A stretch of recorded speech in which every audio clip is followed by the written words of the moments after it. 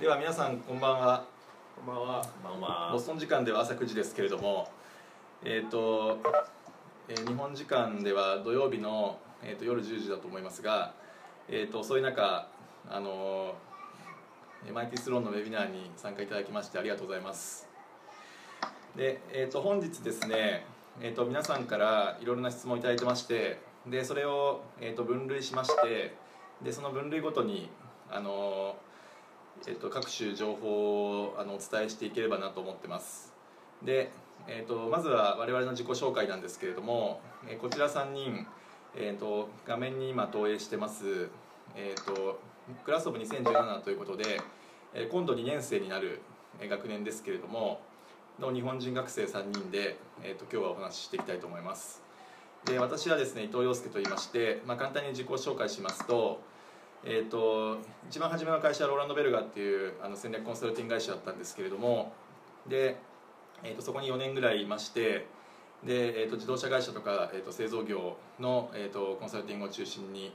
えー、とやってました。でその後ですね気象ディスプレイ会社のジャパンディスプレイという会社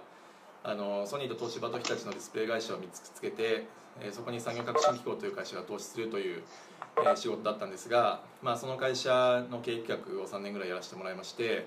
で、えーとまあ、一定程度会社が落ち着いてきたということで、まあ、そこであのまた次のチャレンジを探そうということで MIT スローに留学に来てます。で私は私費学生になります。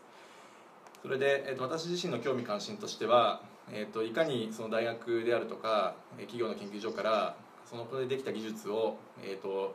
ビジネスに結びつけていくのかと。いうことに興味がありましてで、まあ MIT はあの技術がある大学なのでじゃあそこの周りで一体こうどういうあの技術技術者と、えービジネス側の人を出会わせるであるとかどういうことが行われているのかというのをあの学ぼうということが私の留学の動機です。はい、よろしくお願いします。あはい、あの私高橋義正と申します。よろしくお願いします。えっと私はえっと日本の、えー、商業銀行まあみずほなんですけど、あのみずほフィナンシャルグループのえっと社費派遣でこちらに留学に来ております。えっと、みずほではあの、えっとまあ、みずほのシンクタンクっていうのがありましてそこであの石油天然ガスのリサーチということを、えー仕事にしておりました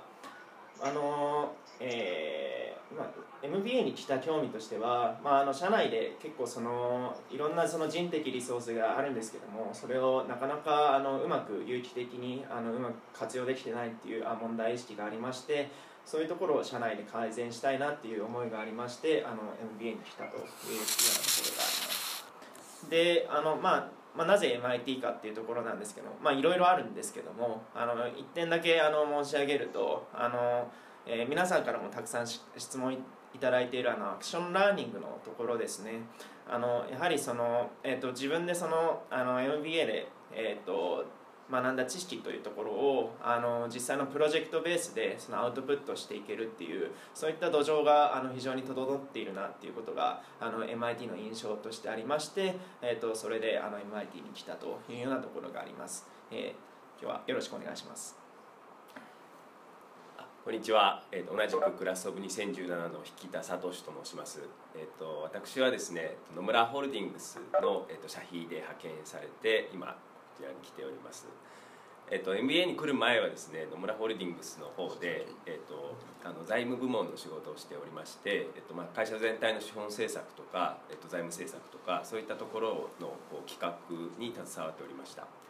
で私自身の MBA を志した理由というのはあの、まあ、そういう金融機関全体のあの経営にあのか携わるにあたってやっぱりその海外拠点も含むあのチェンジマネジメントとか組織の作り方とかそういったあのマネジメントジェネラルマネジメント全体全般を少し体系的に勉強したいなと思ったのがあの MBA を志したきっかけです。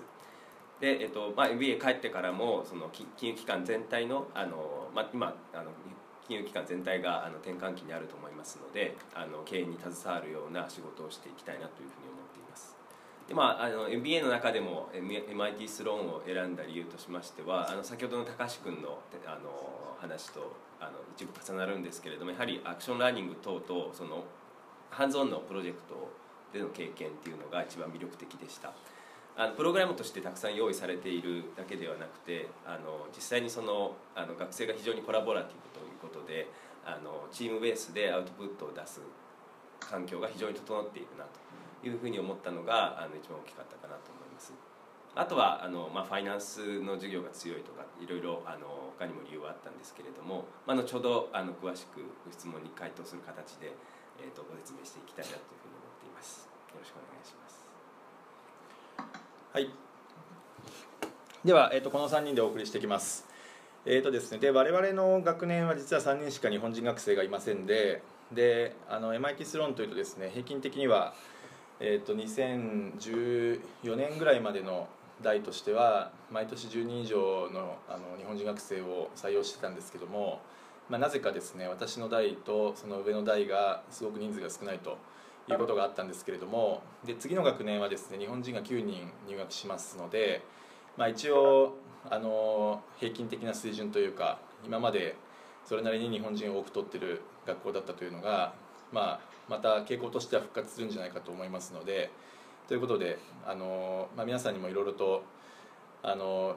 なんていうか MIT スローンはあんまり日本人を取らなくなるのかというような心配はあったかと思うんですけども、まあ、そんなことはないというので あの知っておいていただければと思います。はいでですね、えーと、アプリケーション関係をちょっと簡単に、えーと、おさらいしておきますと,、えーと、ファーストラウンドの締め切りというのがですね、えー、と9月の15日に、えー、なってます。でこれはですね、まあ、去年と同じぐらいの、スケジュールですけれども、まあ、あと1か月もないということで、まあ、結構慌ただしくなってくるかと思いますが、えー、とでセカンドラウンドは1月の17日ということで、まあ、これも去年と同じぐらいのタイミングになってます。で、えー、とサードラウンドというのは一応去年からできたんですけれども、まあ、一応あのアドミッションオフィスとしてはあまりあのアメリカ人以外には受けてほしくないらしくですねできれば、まあ、ファーストラウンドとセカンドラウンドで皆さん出していただくのがいいのかなと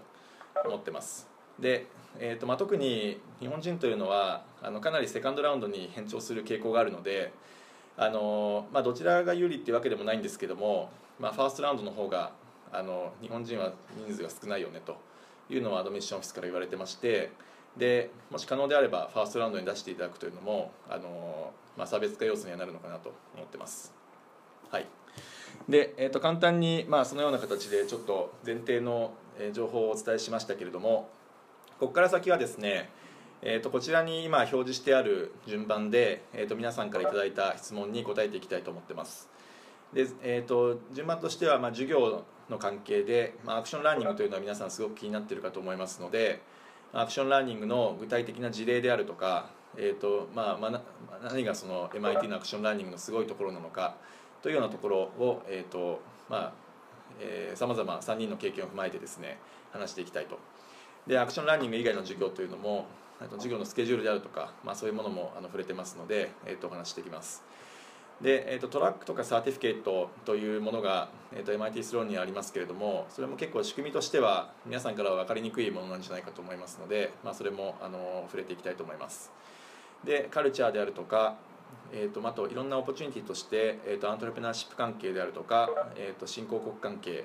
で、まあ、どんなことができるのかと。いうのもあの人によっては気になってるかと思います。であと就職活動海外活動といった、まあ、面ですね。であとはまあ一般的に他校との差別化要素が何なんですかという質問を結構たくさん頂いてまして、まあ、それもあの3人の意見を述べたいと思ってます。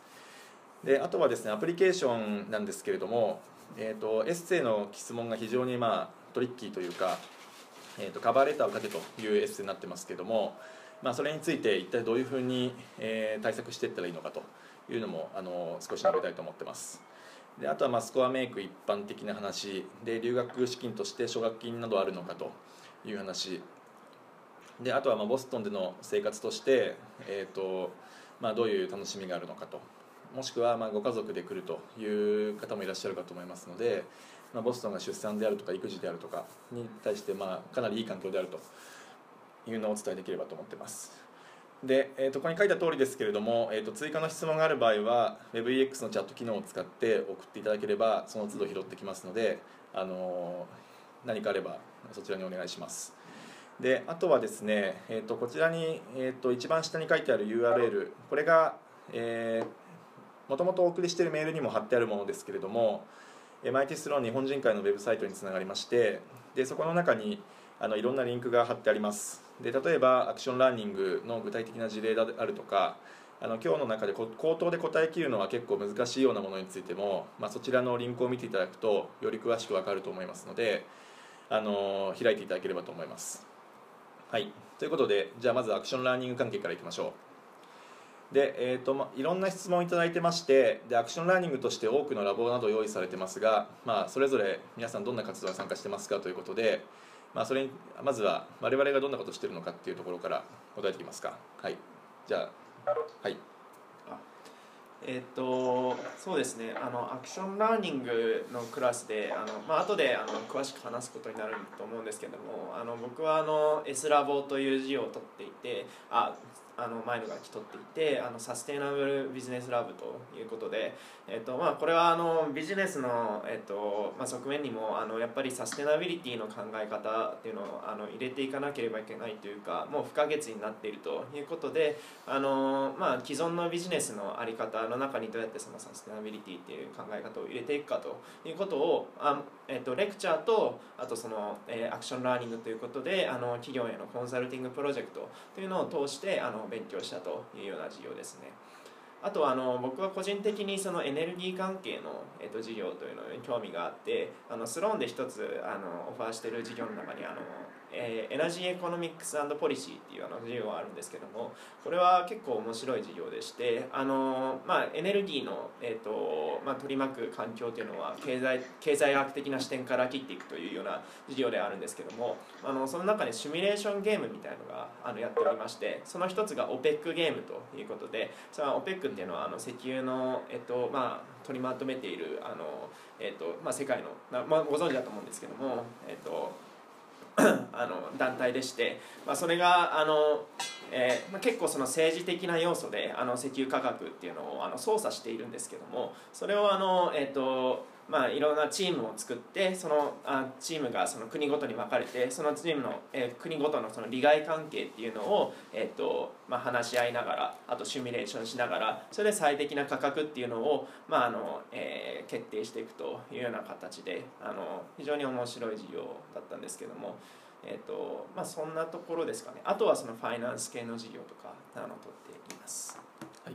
じゃあどうぞ。はい。えーとまあ、アクションラーニング関係ということであの、まあ、有名なのはそのラボという名前が付いているものなんですけれども、まあ、ラボという名前が付いていなくても、まあ、いろんな授業にそのアクションラーニング的な要素というのは散りばめられていてあの Action Learning 的な要素がある授業というとかなり範囲は広いんじゃないかなというふうに思います。で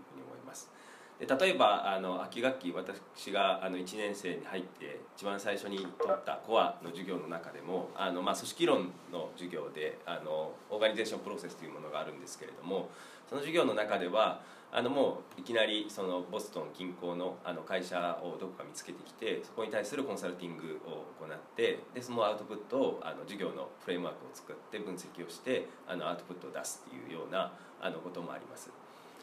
なので、えっとまあ、あの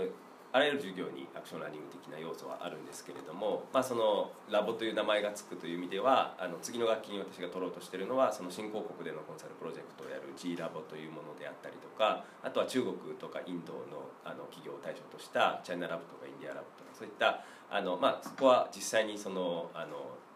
他の国に行ってあのビジネス慣行の違い等々を学びながらあのサイトでコンサルをやるというあの Action Learning の、まあ、本本元みたいなそういった授業をあの今後は取っていこうかなと思っています。はいえーと、私の場合はですね、えーと、まず今まで取ったものでいくと,、えーと、 New Enterprises という授業がありましてでそれは、えー、と3人から5人ぐらいのチームを作ってでそこで、まあ、新しいビジネスを考えていくという授業なんですけれどもで MIT にあるマーティン・トラスセンターというまあ、そこはあのアントレプレナーシップ教育を行っている場所なんですが、まあ、そこが規定している、えーと、企業とは各あるべし24ステップみたいなものがありましてであの、まあ、そちらの24ステップを1学期間かけて、えー、1ステップずつやっていくという授業なんですけれども、まあ、そのフレームワーク自体が面白いというのはさておきあとはあの、まあ、周りでもともとビジネスのアイデアを持ってる人であるとかあのもしくはその場で考え始める人もいるんですけれども、まあ、周りであの刺激を与えながらあのアドバイスをし合いながら、まあ、実際自分たちのビジネスをこう構築していくというようなあの授業があります。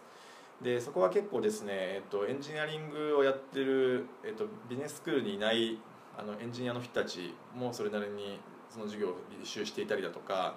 あの結構ダイバーシティがあるチームが組めるというのもありますしあのそこの授業の中でメンタリングを受けたりしてですね、まあ、実際その授業が終わった後にまだ継続してプロジェクトやってるチームもたくさんあったりだとか、まあ、それはかなり勉強になりました。であとは、えーとまあ、私はアントレプレナーシップを学びたいなと思ってきてるんですけれども、まあ、そういう中でいくと e ラボであるとかあの、まあ、G ラボというのはグローバルにあのどんなえー、あグローバルで、えーと、スタートアップ企業のコンサルティングをやるっていう授業ですけども e ラボというのはボストンの周りの、えー、スタートアップ企業のコンサルティングをやるというプロジェクトであの、まあ、 Action Learning という中にも、まあ、いろんな要素があるなというのはあの思ってます。でえっ、ー、とですね次に、えーと、いただいている質問で Action Learning のプログラムを最も、えーとまあ、魅力的にしているものって何ですかという質問がありましてじゃあそれいきましょう。はい。えっとまあ、 Action Learning というの話があの先ほど先ほどから何度か出ているんですけどもあの、まあ、MIT スローンはその Action Learning というところにすごい力を入れておりまして、えっと、 Action Learning Office というのがまずありますでそこのオフィスがあの、えー、まあえー、その一緒にコンサルティングプロジェクトをやるべやるべきあの企業っていうのを探してきて、まあ、それであの各プロジェクトにあの当てがってるというような感じですね。であの結構その歴史の長いプログラムなのであの MIT スローンと一緒にやりたいっていうあの企業が非常に大きくてですねあ多くてですねあのその企業数あの例えばその僕のあのやっていた S ラボなんですけどもあのその学生とプロジェクトをやりたいっていう企業数とあとその学生側のグループ数なんですけども企業数の方があの多いような状況になっておりましてあのまあその、えーと、人気のないその企業っていうのがあの選ばれないっていう仕組みになってなってしまいましてその必然的にその人気のあるあの面白そうなプロジェクトが選ばれるということでその企業家企業側から見てもかなりコンペティティブなあの状況になっているというようなところがあります。まあ、あのまとめまとめますと、まあ、やはりその MIT スローンとしてそれを長年やってきているでそれで、まあ、あのかなりその力を入れてそのプログラム全体としてそれをあの一つの特色として力を入れてやっているというところであの、まあ、ここはあの一つ特徴としてあの、えーまあ、あの魅力的にあのさせているとプログラムを魅力的にさせているというふうにあのなっていると思います。はいでですね、えっと、あと個別のラボについてどんなことをやるんでしょうかというような質問をたくさんいただいてましてで、えー、とそれはですねちょっとこの場で喋りきるのいろいろ難しいので、えーと、あのリンクを貼っているですね先に、えーと、いろんな情報が載ってます。で例えば、まあ、E ラボだとか G ラボだとか、えー、の詳細を教えてくださいという質問があるんですがその、えーと、リンクの先にですね、えーとまあ、我々がその授業を履修する際にあのこれを見てまあ、どんな具体的なプロジェクトがあるのかっていうのを考えた上で履修するかどうか決めてくださいというようなあの説明用の資料ですねこれは内部向けの資料ですけどあの添付してますしあのあとは、えーと、MIT スローンの公式サイト、まあ、これは外部にも公開されてるやつですけれどもあのそれぞれ、まあ、どんな人たちがオーガナイズしてるのかであるとかどんなあのプロジェクトがあるのかというのが一部分かるものもあると思いますので。まあ、そういうものを参考にしてですねあの見ていただければと思います。いいよ戻ってはい。でえっ、ー、とあまあ、そういうところに E ラボだとか G ラボだとかの、えーと、具体的なプロジェクトの事例が載ってます。で、えーと、あとですね、えーと、ラボという名前が付いてるものと付いてないものもあるんだけども一体何の違いですかという質問も頂いてるんですがまあ、例えばイノベーションチームズという授業がありまして、まあ、これはあのエンジニアリングをやってる人たちとビジネススクールにいる人たちを、まあ、半々ぐらいで混ぜてで、えーと、MIT のその、まあ、かなり最先端の研究テーマをいかに商業化するのかというのを考える授業なんですけれども、えー、と基本的にラボとついてるな名前がついてるものは、えー、と MIT スローンのアクションラーニングオフィスという人たちが特別に運営してるあの企業に関するあのコンサルティングプロジェクトというのが中心になってます。でそれ以外にも、まあ、MIT 全体にあの Mind Hand というあの実践も重んじながら学んでいくという精神がありましてであの Action Learning Office じゃない人たちが運営している Action Learning のようなプロジェクトというのもたくさんありますと。で、えーと、 iTeams というのはその一例であのなので、まあ、 Lab とついてないわけなんですけども、まあ、 Action Learning の機会ではあるというふうに理解ください。で、えーと、あとですね個別に、えーと、例えばメディアラボとコラボする事業はあるのかとかエマージングマーケットとコラボする事業はあるのかというようなものも聞いてますけれあの質問としていただいてますがこれもですね、えーとまあ、リンク先にいろいろと載せてあります。で例えば、まあ、メディアラボとのコラボという意味で言ったら、えーと、メディアベンチャーズという事業があってこれはあのメディアラボのテクノロジーをいかに商業化するのかという事業なんですけれども実際にメディアラボの人たちとあのビジネススクールの人たちがかなり密にあのコラボレーションする機会があります。で、えーと、エマージングマーケット関係でいくと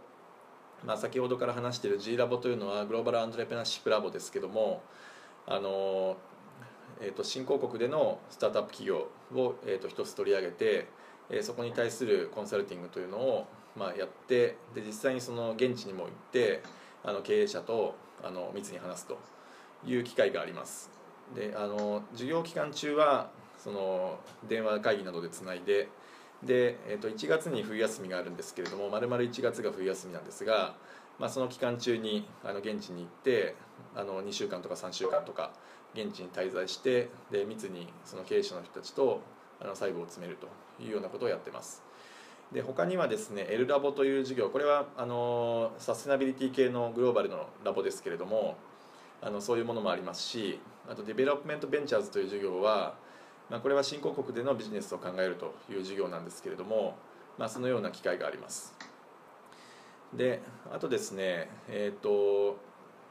MIT スローンの中にあるわけじゃないんですけれども MIT 全体の、えーと、新興国でのビジネスをサポートする場所として MIT レガタムセンターという場所がありましてこれもリンクを、えー、と貼ってますが、えー、とこちらがですねあの例えば私が知ってる事例だとナイジェリアでのエコプラスチックの授業をやりたいという MIT の学生がいますと。でそういう人たちに対してじゃああのそのプロジェクトが意義があるもので実現性が高いものであれば、まあ、それをお金もつけてで、えーと、メンタリングもしようというようなプロジェクトをやってまして、まあ、例えばマスターカードとかいくつかの会社がそのあのバッグについてですねあの結構なお金が動いてるような、えーと、連携の仕方というのもあります。なので、えーとまあ、MIT といってあんまりあのエマージングマーケットとか NPO とかいうイメージはないかもしれませんけれども、まあ、そういうようなオポチュニティもあのたくさんあると。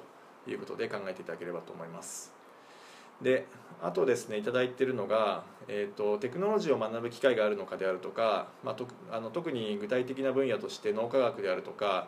まあ、そういう学生とのコネクションを作ることっていうのは可能なのかというような質問も頂いてるんですけれどもまずその Technology Management ということを学ぶという意味では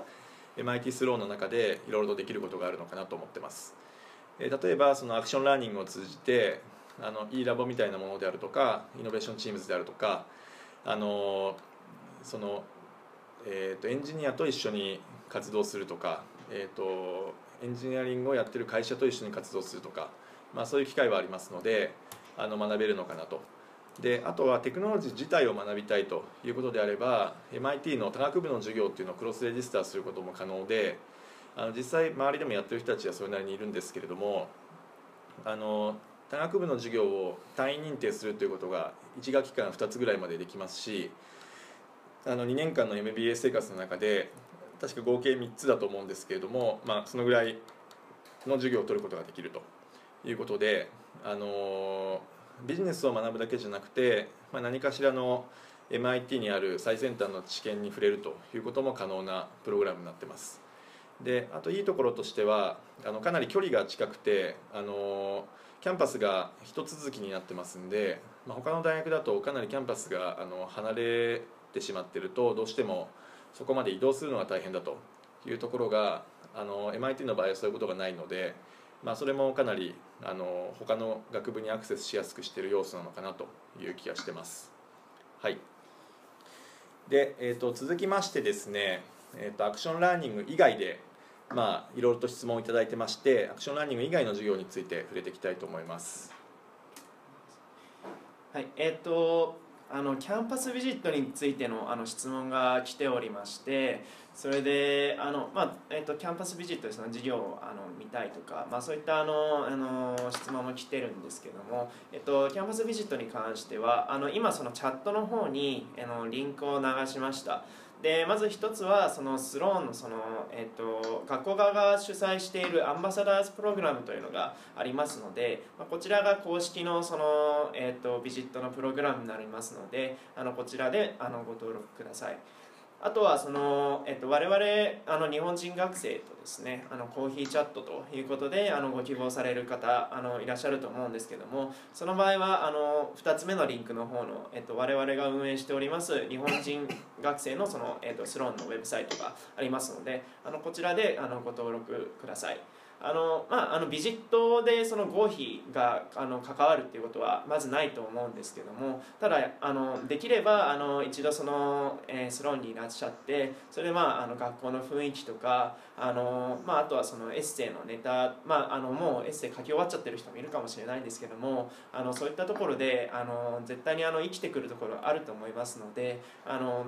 まあ、あのお時間があって、まあ、あとお金に余裕がある方 あのいらっしゃればあの、えーと、ぜひいらっしゃってください。はいじゃあ次はいえーと、あとはですね、まあ、個別のテーマとしましてそのテクノロジーと金融の融合に関する授業、まあ、いわゆるフィンテック関連の授業っていうのがあるのかという質問をいくつか頂いているのであの答えしたいと思います。えっ、とですねあのまあ、フィンテック最近非常にアメリカの方でもあのあの注目が高まっていましてあの MIT 全体としては例えば MIT メディアラボであのビットコインもしくはブロックチェーンの研究をされていたりとかあとはまあ MIT のコンピューターサイエンスで非常にあの強い学部があったりとかそういったあの MIT であの存在するリソースをうまくビジネスにつなげていこうという観点から、えっと、フィンテッククラブというものが、えー、と設立されて非常に学生主導で、まあ、いろんなあの FinTech Conference とかを開いてスピーカーを呼んだりとかですねあるいはビジネスコンテストをやったりとかっていうので、まあ、学生主導でいろんな動きがあの行われていました。で、えっと、その流れの中で、えっと、去年の秋にあの FinTech Ventures というおそらくアメリカの大学で一番最初のフィンテック関連の授業というのがあの設立されましたでこれはあのフィンテッククラブっていうのが相当頑張ってプログラムオフィスに働きかけて開講された授業で、まあ、あの比較的若いプログラムではあるあるんですけれども実際にそのフィンテックに関連する、えー、会社を作ってビジネスプランをそのピッチするところまで持っていくというような授業の内容になっています。ただしねそのフィンテック自体っていうとかなりまああの幅広いあの分野にまたがっていますのでこの FinTech Ventures というのはどちらかというとですね先ほどあの伊藤君からも話があった通りその企業に向けての24のステップというあの MIT 全体のアントレ教育を貫くその根本の理論みたいなものを学びながらフィンテックというあのテーマを使ってあのそれを実際に形にしていこうというあのどちらかというと、まあ、そのアントレプレナーのあのを学ぶという色合いが濃い授業になっています。はい、はい。続きましてですねボストン以外のキャンパスってあるのかという質問を受けてるんですけれども、えー、とまず MIT Sloan にはボストン以外のキャンパスというのはないです、えー、と学校によっては東海岸の学校でもシリコンバレーにキャンパスを持ってるとか、えー、とそういうところがありますけれども MIT Sloan の場合は、えー、と1つのロケーションしかないと。で、えー、と他の、えー、と学校に transfer する仕組みというのも若干ありまして、えー、と一応ロンドンビジネススクールとえーと、スペインにあるイエスエにはトランスファーすることができます。で、えーと、年間、えーと、各校3人ずつ、えー、と行ってる人がいるんですけれども、まあ、ただあんまりそれをやるっていうこと自体がメジャーじゃないです。で他の学校の話を聞くと結構まあなんていうんですよ。1セメスター間えーと、アジアに行ってみたりとかヨーロッパに行ってみたりとか、まあ、いろんなオポチュニティがあると思うんですけども、まあ、MIT スローンの場合は、まあ、あまりそれをやりたがるという人たちが多くなくて、まあ、一つはボストンにいろいろな opportunity があるので、まあ、それをあの 2, 年間という限られた期間の中であの学びきりたいという人たちが多いのかなと思ってますが、まあ、もしそういうグローバルに transfer するっていうこと自体をかなりあの強く希望されている方というのはあまり MIT Sloan にはいい opportunity がないということなのかもしれないです。はい。で次 design thinking。あデザイン。design thinking ですね。えっと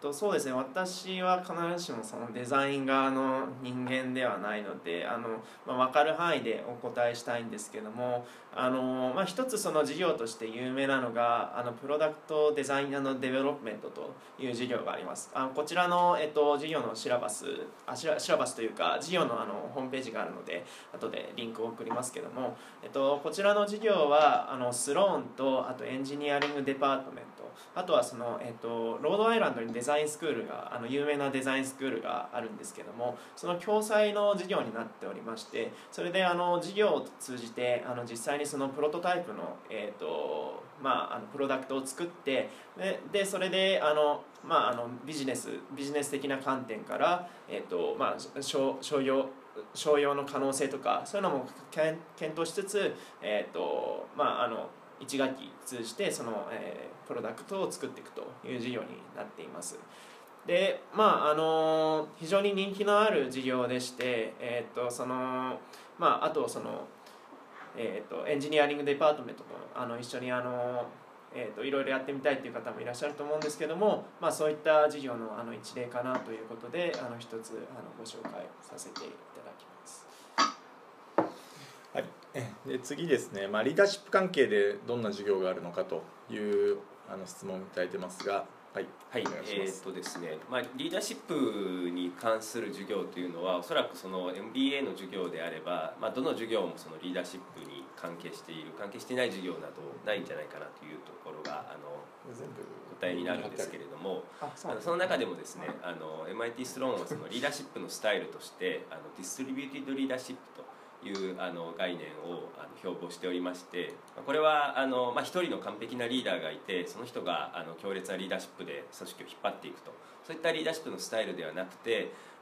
さまざまなバックグラウンドを持ったチームのメンバーをうまく生かしながらあのその時々に応じてあの権限を移譲しながらあの組織を前に進めていくというようなリーダーシップのスタイルを MIT としては重視しています。で、えっと、その重視しているリーダーシップスタイルっていうのもあの授業そのリーダーシップが身につくような授業のスタイルっていうのが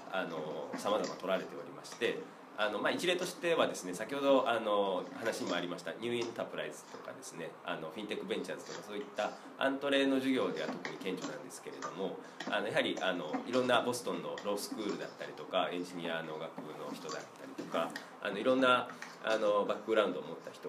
をと一緒にチームを構成する中であのその中で、まあ、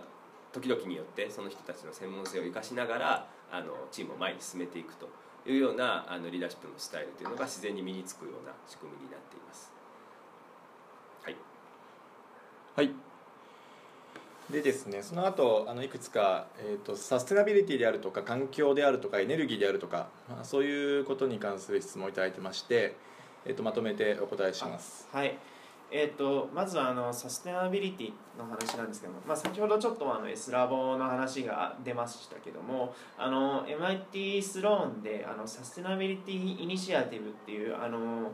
えー、これはまあプログラムというか、まあ、そういう団体をあの、えー、と faculty がの中心になって運営しているんですけどもあのこちらがその sustainability certificate にしてもあと S ラボですねの organize にしてもあの取りまとめてやっているということですね。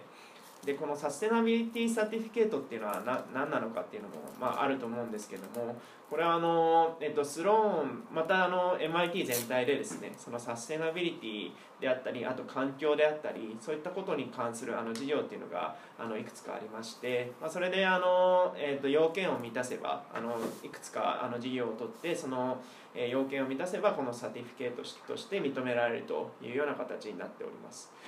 まあもともとはそんなに人気のあるあの、えー、と certificate でもなかったみたいなんですけども、まあ、みんなあの授業を取っていく中で取れればいいかなみたいな感じであのやっていく人が多かったので、まあ、毎年3人とか4人とか、まあ、それぐらいの人しか取ってあのサ certificate としては取っていなかったんですけども昨年は一気にあの取る人の人数が増えましてあの40人あの sustainability certificate をあの取った人があのいたそうです。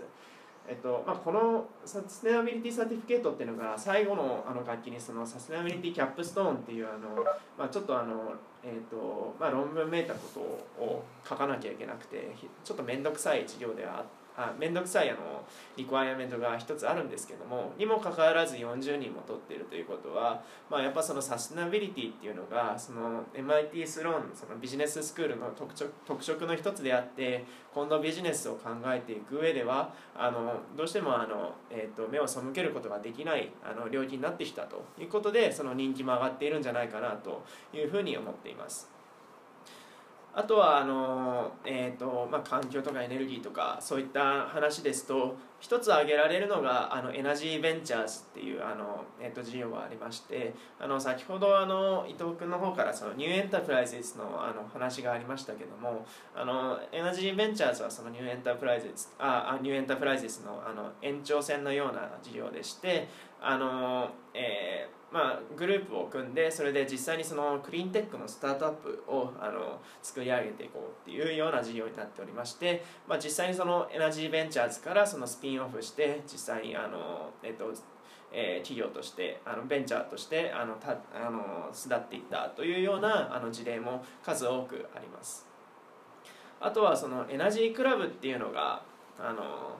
MIT の中にあるんですけどもあのまあ、MIT の中に、M、エナジークラブがあってスローンの中にスローンエナジークラブっていうのがまた別にあるんですけども、まあ、一緒にあの、えっと、なんかイベントやったりしていて、まあ、ほとんど一体のような感じなんですけどもそのエナジークラブっていうのがあの非常にあの MIT の中では認知度の大きいあの、えー、クラブになっております、えー、登録会員数っていうのがあのえー、命率に乗っている人ベースで4000人ぐらいいるらしくてあのかなりあの、えっと、企業とのコラボレーションも多くてそのスポンサーもあの石油メジャーであるとかあの、えー、電力会社とかクリーンテックの会社とかそういったところからすごいあのお金を集めていてであの、えー、春にですねあのエナジーあのエナジーカンファレンス MIT エナジーカンファレンスっていうのを運営してるんですけどもこれもかなりその歴史のあってあの多分あの北米では北米で学生がその運営するそのエナジー系の、えー、と会議では最大級のあの会議になるんですけどもあの昨年度もそちらにあの、えー、と基調講演にその、えー、エネルギー庁の長官のあのアーネスト・モーニッツっていう人がいるんですけどもが来たりとか、まあ、その人は MIT の教授だったってこともあるんですけどもあの、まあ、来たりとか非常にその力のあるクラブで、まあ、こちらに入るとその、まあ、MIT でのそのエナジーの関係であのかなりあの、えー、どういった研究が行われているかとか、まあ、あのどういった学生がいるかとかそういった交流があの非常にできると思います。あとちょっとサステナビリティ関係で戻っちゃう戻っちゃうんですけどもそのサステナビリティ Sustainability Summit っていうのもあの毎年やっておりましてこれはあのまああのカンファレンスなんですけどもサステナビリティに関わるような企業を集めて、えーとまあ、あの運営するというような事業になあすみませんあのカンファレンスになっております。でまああのいろいろそのえっ、ー、とまあ、サステナビリティについてはいろいろあのご質問いただいてたんですけどもちょっとあの僕の意見を一つだけあの申し上げると、まあ、あの MIT で確かにそのサステナビリティっていうのを力入れているはもののさまざ、まなその企業があってさまざまな企業体があってその中でその一括りにそのサステナビリティっていうのを考えていくのはあの非常にあの困難だと思っておりましてやっぱその企業によってそのサステナビリティの考え方が違うし社会もサスサステナビリティについての考え方があの全然違うということであの MIT に来たからといってそのあのサステナビリティっていうとは何ぞやみたいなことを学べるわけではなくてそれはそこはなんか一緒に走りながら考えていくというような形になるとあの思います。すみませんちょっと長くなりました。はい、であと駆け足でですね、えーと、他に質問いただいているのは、えーと、 Mind Hand を体現している事業の例とは何ですかということで、えー、とこれは今までお話ししてきた action learning であるとかあのもちろんその体現していると思うんですけれども基本的にですね、えー、といろんなレクチャー形式の授業の中にもかなりあの hand の部分が入っているというのはあの特徴なのかなと思ってます。で例えば、えー、とファイナンスであるとかアカウンティングであるとか、まあ、そういう授業でもあの、まあ、レクチャーも行うんですけれども一方であのえー、とレポートをかけたとかですね、えー、とチームの中であの、まあ、わざわざファイナンスの授業でも必ずチームワークが入ってるんですけれども、まあ、そういうものもありますしあとストラテジーの授業でもケースを読むだけではなくてそのケースで学んだ、まあ、いろいろなフレームワークを使って例えば、えー、と Entrepreneurial Strategy という、えー、と授業では、えー、とスタートアップ企業を一つ捕まえてきてでその会社に対しての、えー、と提案みたいなものを授業で使ったフレームワークで書けというものが入っていたりだとか、まあ、どの授業にもかなりあの Mind Hand というのを意識したような要素が入っているのかなと思ってます。で、まあ、それがまあ全体的な特徴なのかなと。であと,、えーと、いただいている質問としてハーバード・ケネディスクールとの joint degree program の評判というのをあの質問いただいているんですけれどもこれはどういうことかというと,、えーと、MIT スローンの MBA と,、えーと、ハーバード・ケネディスクールの、えー、と Master of Policy? Political Science? Political Public Policy。Public Policy。Master of Public Policy の2つの master degree を、えー、3年間で取るというプログラムがありましてでこれはあの皆さんが apply するときに、えーと、両校に同時に申し込むこともできますし MIT スローに入った後に、えー、ハーバード・ケネディスクールに別途アプリケーションを出して accept されれば、えーそこからまたプログラムが始まるという制度もあります。でこれはあの結構周りでやってる人たちはいましてで、えーとまあ、両方 MIT とハーバードの両方のコネクションが得られるっていうのもありますしあのビジネススクールに来る人たちとそのパブリックポリシースクールに来る人たちっていうのはあのそもそも、まあ、違う人種と人種というか考え方の人たちなので、まあ、その両方のダイバーシティを知ることができるという意味でも、まあ、ボストンで、えーと、電車で2駅ぐらいの距離にそれぞれの学校があるので、まあ、その近さも生かしてえーと、両方学びたい人というのは、まあ、3年間かかりますけども、えーと、一つのオプションなのかなと思います。はい。で、えーと、次ですね、えー、と track とか certification の制度について、えー、と具体的に教えてほしいという話が来てますので、まあ、それについて言及していきたいと思います。えー、とまず、えー、と皆さんご存知かもしれませんけれども track というのは3つありまして、えー、と Entrepreneurship Innovation Track と,、えーと、 Enterprise Management Track Finance Track という3つがあります。でそれぞれですね、えーとまあ、起業関係で大企業経営関係であとはまあ金融関係のキャリアに行きたい人たちが、まあ、主にそれを履修すると。いう形になってます。であと certification については sustainability と,、えー、と healthcare の2つが、存在してます。でこれはですね、まあ、それぞれ、まあ、特定の授業をちょっとあと多めに取ったりするとまあ、それらについてあの専門的に学びましたねということで認定してもらえるという仕組みなんですけれども、えーとまあ、一体どんな授業を取ったら、えー、とその certification だとか track が得られるのかということについては、えー、と別途お送りしているリンクの中にあのその説明をする資料が載ってますので、まあ、それを見ていただければいいかなと思います。で、えー、と track とか certification を取るメリットが何ですかということなんですけれどもまず一つはですねまあ、例えば私は Entrepreneurship Innovation Track というのを取ってたんですけれども、えーと、秋学期に、まあ、一番初めですね最初に入学した時の学期にあの track のセミナーというのがありまして、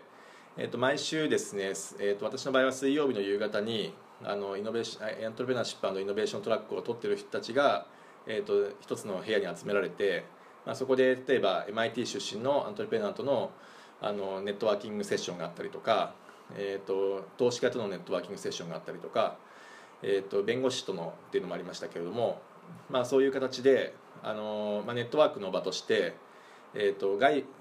MIT 外の人たちもアクセスできますし MIT の中で、まあ、その MIT スローの中で、あのまあ、自分たちと同じ興味を持った人たちとのネットワークができるというのが、まあ、一つの特徴なのかなと思います。で、えー、例えばファイナンストラックとかは明確に、まあ、就職活動に生きるというのがありまして、まあ、例えば、えーと、ニューヨークのニューヨークで、まあ、ちょっとインターンのポジションが欲しいという人たちがいた時に、えーと、ファイナンストラックに入ってるとあの全員でニューヨークの投資銀行とかを回るというツアーがあったりして、まあ、そこで、えーと、MIT スローの卒業生を中心に、まあ、現地で活躍している人たちとコネクションを作ってで就職活動に生かすというような取り組みもやってます。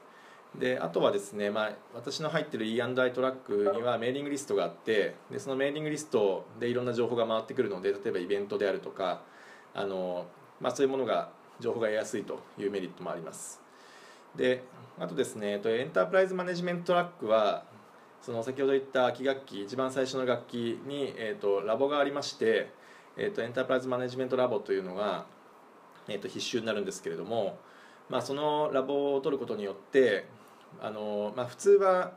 あの、まあ、我々の場合一番初めの学期は必修授業だけであまりその action learning の要素っていうのはちょっと薄いんですけれども、まあ、一番初めの学期からそういうような、えーと、 consulting project に関わったりしながら、まあ、その、えーと、学んだことを、えー、生かして例えば就職活動の際にアピールしたりであるとか、えーと、そういうことをあのやれるようになってます。で、えー、とこの lab lab じゃなくて track とか certificate っていうのは別に取らなくてもいいので取らなくても卒業できるんでですね、まあ、あの初めは登録するけども途中からあの辞めるという人たちもいたりします。で、えーと、履修する要件っていうのはそんなに厳しくないのであのあまりそれを取る取ることによってガチガチに固められるっていうわけじゃないんですけれども、まあ、一つのオプションとしてそういうものがあるということでもし興味がある方はそのリンクの先にある情報を、えー、と見ていただけるとあのイメージがつかめるのかなと思ってます。はいでえー、と具体的にですね healthcare certificate が、えー、と一体どういうものなのかというのについての質問もいただいてまして、えー、それにお答えするとですねえーとまあ、他校にいろいろなヘルスケアに特化したようなプログラムもあると思うんですけれども、まあ、それと比べて、えー、と何がいいのかという点で1つ目としてはまずボストンという街があの世界一のヘルスケアビジネスの集積地であるというのがあのまずその環境を生かしていろいろな、えーと、 action learning とかができるというのが挙げられると思います。で、えー、例えば、えーと、ハーバードメディカルスクールの傘下にあるあのマサチューセッツ・ジェネラル・ホスピタルであるとか、えーと、ブリガム・ウィメンズ・ホスピタルであるとか、まあ、そういうもう世界最先端の研究をやってるようなあの拠点というのがあのボストンにはたくさんあります。であとは、まあ、MIT ハーバードの、えーと共同研究をするという目的で、えーと、製薬系の企業のオフィスというのが、まあ、MIT の真横ぐらいにあのあったりするので、まあ、そういうあのビジネスが集積している場所だっていうのが、まあ、一つはあのすごく大きな意味があるのかなと思ってます。でそれによって、まあ、 Healthcare Certificate を取る人たちというのは Healthcare Lab というのをやらなきゃいけないんですけれども、まあ、それがあの組む相手がいっぱいボストンにいるということで、まあ、よりあのネットワークもできるしあの学ぶ機会が得られると。でもしインターンをにあのボストンでやりたいということであれば、まあ、そのネットワークを生かしてより有利な立場に立てるということですね。で、えーと、MIT 全体でもあのそのいろいろなテック系の人たちっていうのもいますし、えーとヘルスケアに関係するテックのことを研究している人たちもいますしで、えっと、マネジメントという意味でも、えっと、 hospital management であるとか、まあ、オペレーション関係であるとか、えっと、MIT の中に存在しますので、まあ、そういうプログラムの強みも生かしながらあのなんて言いますかその Healthcare Certificate っていうのを、まあ、取っても取らなくてもどっちでもいいんですけれどもただヘルスケアを学ぶオポチュニティっていうのはいっぱいあるということで、えっと、これは入学してから選ぶことができますのでまあ、興味がある人は、えー、その後でこうちょっと自分の興味としてはヘルスケアを深めたいなということであればそれを取っていくってことができます。はいで続きましてですねスローンのカルチャーについて、えーと、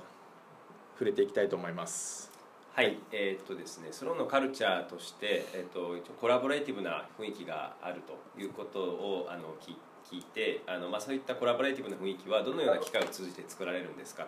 というご質問をいただいておりますでおっしゃる通りあの MIT スローンというのはコラボレーティブなそのコミュニティを作ることに対して非常にまあプログラム全体でコミットしておりましてあの、まあ、コラボレーティブであるということに惹かれて MIT スローンにしましたというのは非常にまあアドミッションにもあの、まあ、我が言えたりというかあの意図通りのことなのかなというふうに思っています。で、まあ、どういうところでそのコラボレーティブな雰囲気を作り出しているかというとまずはですね成績の評価システムがあるのかなというふうに思います。えっと、成績の評価システムとしてあの授業でまあ個人が発言をしてそれで点数をこう稼ぐと。そういったものではなくてそのチームに分かれてチームごとにアウトプットを出してそのチームプロジェクトのあの制度によってあの授業の点数が決まると。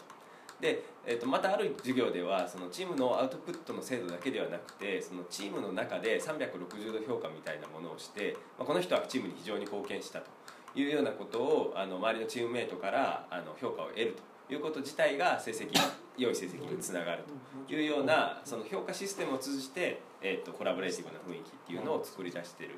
のではないかなというふうに思います。でえーとまあ、その中でですね あのまあ、例えばチームの中であの、まあ、コミュニケーションの授業なんですけれどもチームメンバーに対して、まあ、ポジティブなフィードバックとそれからコンストラクティブなフィードバックつまりそのあの弱点というか改善すべきところっていうのをフィードバックをし合う授業あのプログラムっていうのがあるんですけれどもそこでもですね結構あのあの自分のあの直すべきところというか改善すべきところについて率直に意見を言ってくれる人が多くてですねあの非常にあの気づかされたというかあの参考になったのであのやっぱりチームワークを通じてあのみんなあのお互いに高めていこうという意識が強い人が多いのかなというふうにあともう一つ質問で MIT ならではのものというのがあったんですけれどもやはり一つはあの先ほど申したそのコラボレーティブな雰囲気っていうのがあるかなと思います。でもう一つ挙げるとするとやっぱり MIT なのでみんな数字に対するこだわりがすごい強いということですね。あのまあ、実際のチームの中のディスカッションとかでもあの数字とかファクトをベースにあの議論を積み上げていくというようなあの議論のスタイルの人が非常に多いと。で、まあ、ちょっとあの改善すべきところとしてすごい細かいところにとらわれすぎてそれでこう時間が経ってしまうといったところもあるのかもしれないんですけれどもあの、まあ、そういったあのキャラクターの人が多いのかなというようなところは印象として感じます。はいでですねあと頂いてる質問としては、えー、卒業生のコミュニティというのはどんなものがありますかというのを頂いてますけれどもまず、えーと、グローバル全体という意味でいくとあの例えば MIT の卒業生というのが、まあ、世界中に散らばってますんで、まあ、そういう人たちに対するアクセスというのはあのかなりしやすいというのがあります。で、えーと、先ほど申し上げた通りかなりコラボラティブな雰囲気であるというのはあの MIT 全体にあのそういう雰囲気がありましてで例えば、まあ、自分が何かこうビジネスを考えてるとか仕事の関係で何かの、えー、助言をもらいたいとかですね。そういう時に、えー、卒業生を検索する仕組みがあるんですけれども、え、どんな企業だとか、えーと、どんな、えーと、国でっていう条件で絞り込むと、まあ、人がこう卒業生がどんなことしてるのかっていうのが出てくる仕組みがありましてで、まあ、そういうところでコンタクトを取ると、まあ、何の面識もない人でもあの結構対応してくれたりするというのがあります。で私も一回あの、えーと、考えてたビジネスの関係で連絡をしたことがあるんですけれどもあの、まあ、気軽にスカイプに応じてくれたというのはありました。であと日本でという意味でいきますとまず、えーと、日本 MIT 会というのがありまして、まあ、それは MIT 全体のあの卒業生コミュニティなんですけれどもあの設立がですね1910年ぐらいっていうことで、まあ、大変古いあの MI 日本でのコミュニティがあるというのは特徴なのかなと思います。で、まあ、昔の人たちが築き上げてきてくれたネットワークというのを、まあ、我々もアクセスできるということであの、まあ、かなりいろいろな企業であるとか、えー、と研究所とかの、えー、トップの方に MIT 出身の人がいますし、まあ、それをあのアクセスできる権利というのは日本でのネットワークという意味でもとても生きるのかなと思ってます。で、えっと、MIT スローン自体の日本人コミュニティ卒業生コミュニティというのもありまして、まあ、それもあの定期的にイベントを開催したりであるとかあのそういうような活動をしてますのであの、まあ、無条件に卒業生はそれに参加することができるということであの他の学校と比べてというのはちょっと分かんないですがあのかなり充実した卒業生コミュニティがあるのかなと思ってます。であとですね、えーと、MIT スローンにおける1週間の過ごし方ってどんなのですかということで質問をいただいてまして、えーと、それはですね、えーと、私の事例なんですけれども、えーとえー、掲載しているリンク先に、えー、と貼ってます。で、えーとまあ、簡単に申し上げると,、えー、と1学期目、えー、と合計で2年間で4学期あるんですけれどもそれの1学期目は、えー、とコアセメスターといいましてで、えー、と大体必修授業を学ぶという期間になってます。で、えー、とリンク先に、えー、と必修授業の具体的な名前も書いてますが、まあ、それらをやっていくことになるんですけれども、えーとまあ、どんな授業スケジュールなのかというのはあの見ていただければと思います。で、えー、とあとは2学期目からは、えー、と全部エレクティブでしてあの、まあ、選択授業を何でも取ることができるというふうになってましてで、えー、とそれらについても私の授業の履修の事例が載ってますのであのそれを見ていただければと思います。で 特徴としてはですね本当にあの全く、えーと、好きなものを選べるということで、えーと、人によってはかなりまんべんなくいろんなものをジェネラルに取るという選択もできますし人によってはすごく偏ってファイナンスだけ取るとかですねあの深めることもできるということであのいろんなものを学びたい人にも、えー、特定のものを学びたい人にも、まあ、自分でその学ぶ意欲があればそれに適したプログラムが作れるというのが特徴なのかなと思ってます。で、まあ、学校によってはその1年間まるまる選択授業がないという学校もありますので、まあ、それに比べるとフレキシビリティが相当高いというのが、えー、と分かっていただけるかなと思います。で えっ、とですねあと,、えー、と質問としていただいているのはえっ、ー、とまあ、すごいと思ったクラスメートや教授などいらっしゃいますかという質問をいただいてましてで、まあ、これは人それぞれあると思うんですけれども、まあ、私の事例でいくと、まあ、クラスメートで本当に頭いいなと思うやつは結構いてあのまあ、真面目に予習もしてくるし授業でもすごい尖った発言するしっていう人たちは周りにすごくいますしあとは、まあ、アントレプレナーシップイノベーショントラックに入っていた中で、まあ、実際シリアルアントレプレナーみたいな人たちもそれなりにいるので、まあ、彼らが一体どんな経験をしてきたのかということから学ぶ要素っていうのはすごくあるのかなと思ってます。であとはですねえ、ー、と、まあ、すごいと思った教授なんですけれども、まあ、例えばあとニューエンタープライズっていう授業を教えてるビル・オレットっていうえー、教授がいまして、まあ、彼はシリアルアントレプレーナーなんですけれども、まあ、そこからえーとまあ、自分で23個会社をやってで、まあ、それがある程度あの成功したのでじゃ今度は更新の教育をやろうということでその MIT にあるマーティン・トラスセンターというアントレプナーシップ教育をやってるところの、えーとまあ、トップなんですけれどもで、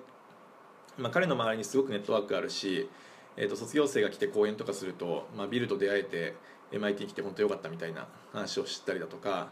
あのまあああいう人たちがその大学の周りにいるからあのその MIT のアントレプレナーシップ教育っていうのは成り立ってるのかなと思うような、まあ、本当にエナジティックだしあのファシリテーションもうまいしあの自分の経験もあるしということで、まあ、それはすごくあの勉強になってます。他に何かありますか？あそうですね。あのえっとジョン・スターマンっていうあの教授があの結構有名な人がいるんですけどもその人はあのシステムダイナミクスの大家みたいな人でして、まあ、システムダイナミクスっていうのはその世の中の事象っていうのは全てあの因果関係で結びついていますねということであのまああので、まあ、環境問題にしてもその、まあ、環境問題が起こすことでその、まああのまあ、巡り巡ってその経済とか社会とかにもあの影響を与えますねというようなあの考え方なんですけども。でその中であのそのスターマンの授業の一つであの面白かったのがあの、まあ、我々っていうのは今その地球何個分ぐらいのリソースを使ってるんだろうっていうあの授業がありましてそれはあのえっと、結局シミュレーションモデルなんですけども、えっとまあ、世の中の資源っていうのは限りがあってその水資源とか土地であるとか、まあ、あとその大気ですとか、まあ、そういったものを全てその、えー、とパラメータ化してであの現在っていうのが地球1.5 1.5個分ぐらいの、えーと、資源をもうすでに使っちゃっていて、まあ、1.5個分どうやって使うかっていうとそれはあの未来のあの未来に使うべき資源っていうのをすでに使ってしまっているんですけども。でこのままのその GDP の成長とか、まあ、あるいは、えっと、人口が増え続けるとどうなっていくかっていうともうあの、えっと、2100年ぐらいまでにはもう地球4.5個分とかそれぐらいもう使ってることになるっていうことでもう地球はもう破綻してしまうっていうあの結論なんですけども。でそれをあの防いでいくためにはどうしたらいいんだろうっていう話なんですけども、えっと、ここが一つ面白いのがその、まあ、MIT だからやっぱそのテクノロジーであのなんとかできるんじゃないかっていうあの考え方をするあの生徒もあのいるんですけども、まあ、実際はそうじゃなくてテクノロジーでもそれはやはり止めることができないというあの側面がありまして、まあ、スターマンの言い分としてはそのやっぱりその人口のが増えるっていうのは抑えられないと。いうことと、まあ、そうするとやはりあの一人一人のその GDP っていうところ GDP 成長率というかあの、まあ、生活スタイルを変えていかなければいけないですよねっていうことで、まあ、それはあの、まあ、工学バックグラウンドの人とかもやっぱりその、まあ、スローンですけどもあの結構いてで、まあ、そのテクノロジーだけでは解決できなくてそういったマインドのところを変えていかなければあの、まあ、我々もうもう地球があの危ないですよっていうことがあの、まあ、ある意味衝撃を受けたというか、まあ、そういった授業でした。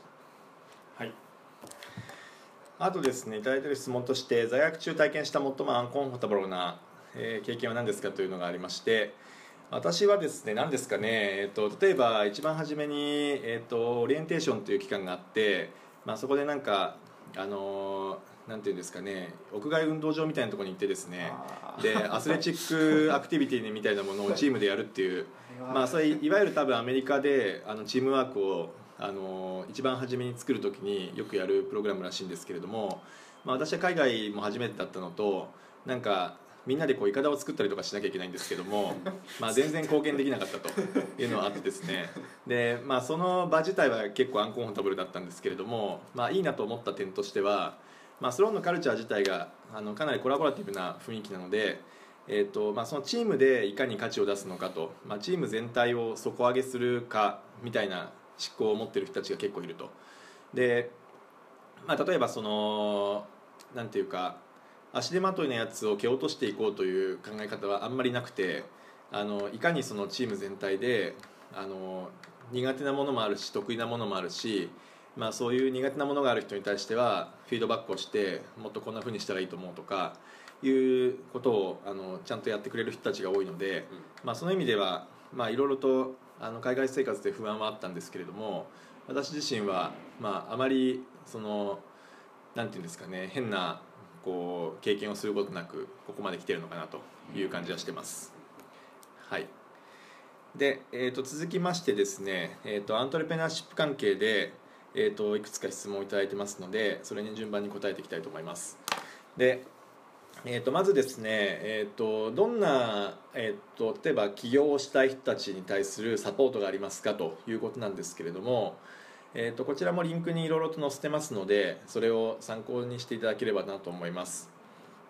例えば具体的にはまず先ほど申し上げたマーティントラスセンターという場所があってでその、えーと、マーティントラスセンターという場所に、えーと、行きますとまずそこが、えー、とコワーキングスペースみたいな形になってまして、えー、結構綺麗で、えー、とコーヒーが飲み放題なんですけれどまあ、そういうところにこう興味がある人たちが、まあ、うじゃうじゃと集まってきて、まあ、みんなあだこーだやってますと。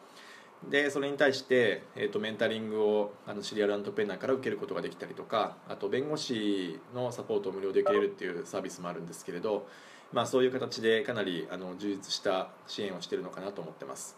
であとはですねえっ、ー、とまあ、スタートアップを立ち上げるとか検討するということに特化したような授業っていうのもたくさんやってますので、あのまあ、授業のアクティビティの中で、まあ、その検討を深めることができるというのもあの、まあ、留学に来て2年間の中で、まあ、そこで何か立ち上げたいと思ってる人たちにとってはいいのかなと思います。であとはですね最近始まったんですけれども、えーと、サンドボックスという、仕組みがありましてでそこに、えーとですね、MIT の学生だったらアプライできるんですがえー、と一番、まあ、少額だと1000ドルから始まるんですけれども最大で2万5000ドルまで、えー、企業資金が得られるという仕組みがありまして、まあ、そういうところで、まあ、実際にそのお金もつけてもらいながらプロジェクトやることができるというのはすごい仕組みなのかなと思います。であと最後に申し上げたいのは、えー、と今の期間に、まあ、ちょうどやってるんですけれども、えー、とグローバルファウンダーズスキルズアクセラレーターというえーと、MIT 公式のアクセラレータープログラムというのがありましてでこれは先ほど申し上げたマーティン・トラスセンターでやってるんですけれども、えーと、夏休みの3か月間、えーと、マーティン・トラスセンターに毎日通ってでそこで、えーとまあ、特別な講演であるとかメンタリングであるとか、えー、も受けながら、えー、実際にお金もつけてもらって、えー、と最大で2万ドルぐらいつくんですけれども、まあ、その企業資金を使ってでかつ、まあ、生活費の補助までもらえると,、えー、と1チーム5人まで、えーと、2000ドル毎月の補助がもらえるという仕組みがありまして、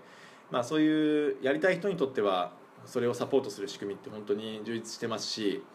あの、まあ、それを生かしてですねあの自分たちのプロジェクトを在学中に進めるということが可能だというのをあの理解いただければと思います。で詳しくは、まあ、あの別のウェブサイトのえーと、リンクをいろいろと貼ってますので、まあ、その先を見ていただいてもしあの興味があればわからないこととあればですねあの質問いただければと思います。で、えーと、在学中に起業した人っていうのは実際どのように授業と,、えーと、授業ビジネスと,、えー、と授業レクチャーですねをマネージしているのかという質問をいただいてまして、まあ、例えば日本関係の人という意味でいくとえーと、2014年あ2015年の卒業生で、えーと、ビジネスを実際 MIT 在学中 MIT スローン在学中に立ち上げて今ニューヨークで頑張ってるっていう人はいるんですけれども、まあ、彼の場合は、えーと、2年目の授業は結構、まあ、最小限に絞ってで実際自分の授業をその2年間の留学期間中になるべく進めるという形でやってましたね。で、まあ、やっぱり留学生としてこちらに来たというのであのビザの関係もありましてあまりそのうかうかしてるとですね日本に帰らなくちゃいけなくなってしまうので、まあ、そういう意味であの留学生として来てる人たちは結構あの在学中になるべく、まあ、授業をなるべく少なめにしたりとかして、えっと、進めるということをやってる人たちもいます。で例えば先ほどのマーティン・トラスセンターでやってる授業が一つありまして、えっと、それに行くとですねえーとまあ、スタートアップの本気でやってる人たちだけが取れる授業っていうのがあってで毎週1回のメンタリングを飯を食いながら受けるっていうこと自体が授業みたいなあの、まあ、スタートアップやりたい人が、まあ、ある意味で、えーと、うまく単位を取るための授業だったりするんですけれども、まあ、そういうサポートする仕組みもありますしあのうまく使おうと思えば、えーと、マネージできるのかなと思います。で、えーと人によっては、まああの高いお金払って MBA に来てるんでまあ、その期間中はちゃんとあの学校のアクティビティに集中したいっていう人たちもいてで、えーと、コーファウンダーだけを決めてで卒業してすぐあのビジネスを始めるという人たちもいます、まあ、それはまあ人それぞれであの、まあ、やろうと思えばいろいろとマネージする方法があるということであの考えていただければと思います。で次がですね、えーと、新興国関係でどんな opportunity がありますかという質問をいただいてましてえーと、それについてお答えしていきますと、まあ、先ほど来いろいろな action learning とかの関係でも触れてる要素もありますけれどもまず、えーと、ラボという中では G ラボとか L ラボとかあの、えー、と別の国、まあ、特に新興国関係での、えー、プロジェクトを扱うようなラボというのがありますので、まあ、そういう中であの、えーとやりたいことをやるというのが可能です。であとは、えー、と実際にその、まあ、アフリカだとかで、えー、とプロジェクトを立ち上げて自分のプロジェクトをやりたいという人たち向けには例えば、えーと、 Development Ventures という授業はその新興国関係のビジネスを検討する授業ですし、まあ、さらに深めたいという人は先ほど申し上げた、えーと、MIT レガタムセンターというのがあって、まあ、そこで、えーと、とプロジェクトとして採択されれば、まあ、実際にお金ももらえるしあのえーと、奨学金みたいなものも出るんですけども、まあ、そういう形で、えーと、サポートしてもらえるというのがあります。ということで、まあ、アメリカに、えーと、留学に来るとしても、まあ、一応その新興国に対して何かしらの、こうアクセスをすることができるということで、まあ、もし興味があればそのあたり、えー、と調べていただければなと思います。はい、で、えー、と次がですね、えー、と就職活動とかの関係について、えー、と質問をいただいてましてで、えー、と内容としてはですねセメスター間の休暇っていうのはどそれぞれどのように過ごしてますかと。で日本人の学生が北米でインターンの機会を得るケースなどもありますかということなんですけれども、まあ、例えば夏休み今、えー、と3ヶ月ぐらいあるんですけれども、まあ、その期間中にあのインターンをするっていうのは、まあ、もちろんみんなやってます。であとはですね、えー、と MIT スローンの場合は1月がまるまる休みなんですけれども、まあ、その期間にあの人によってはインターンをしている人もいます。あの就職活動をやってるっていう人もいます。で、えー、と具体的にはですねまず夏休みについては、まあ、あと私の場合だと,、えー、とスタートアップ企業でインターンしてるんですけれども、えー、とアメリカにあるスタートアップ企業でインターンしてるんですけれども、まあ、それ自体は周りでそういうことをやってる日本人の人たちもいっぱいいますし、あのまあ、普通に、えー、と自分でアプライをして、えーとえー、なんて言いますか探してくれば、あのオプチュニティはいっぱいあるのかなと思います。で MIT 全体でそれをサポートする仕組みがどんなものがあるかというと,、えーとまあ、MIT スローの中にある Career Development Office というのは結構しっかりと,、えー、とレジュメの review であるとか、えー、と mock interview みたいなものにも応じてくれますしあとはいろんなクラブに参加していると,、えー、とその例えば、まあ、ボストンから、えー、とニューヨークにある会社とかシアトルにある会社とか、えーシリコンバレーにある会社っていうとやっぱりちょっと距離が遠いんでなかなかアクセスしにくいんですが、まあ、そういうところにみんなで行ってえー、とツアーみたいな形で回ることによってネットワークを作ろうみたいな取り組みもありますしあのいろいろとできるのかなと思います。であとはですね冬休みにやってたやつでいくと,、えー、と MIT スローンの、えー、とアントレプレナーシップクラブが主催してでボストンの周りにあるスタートアップ企業を、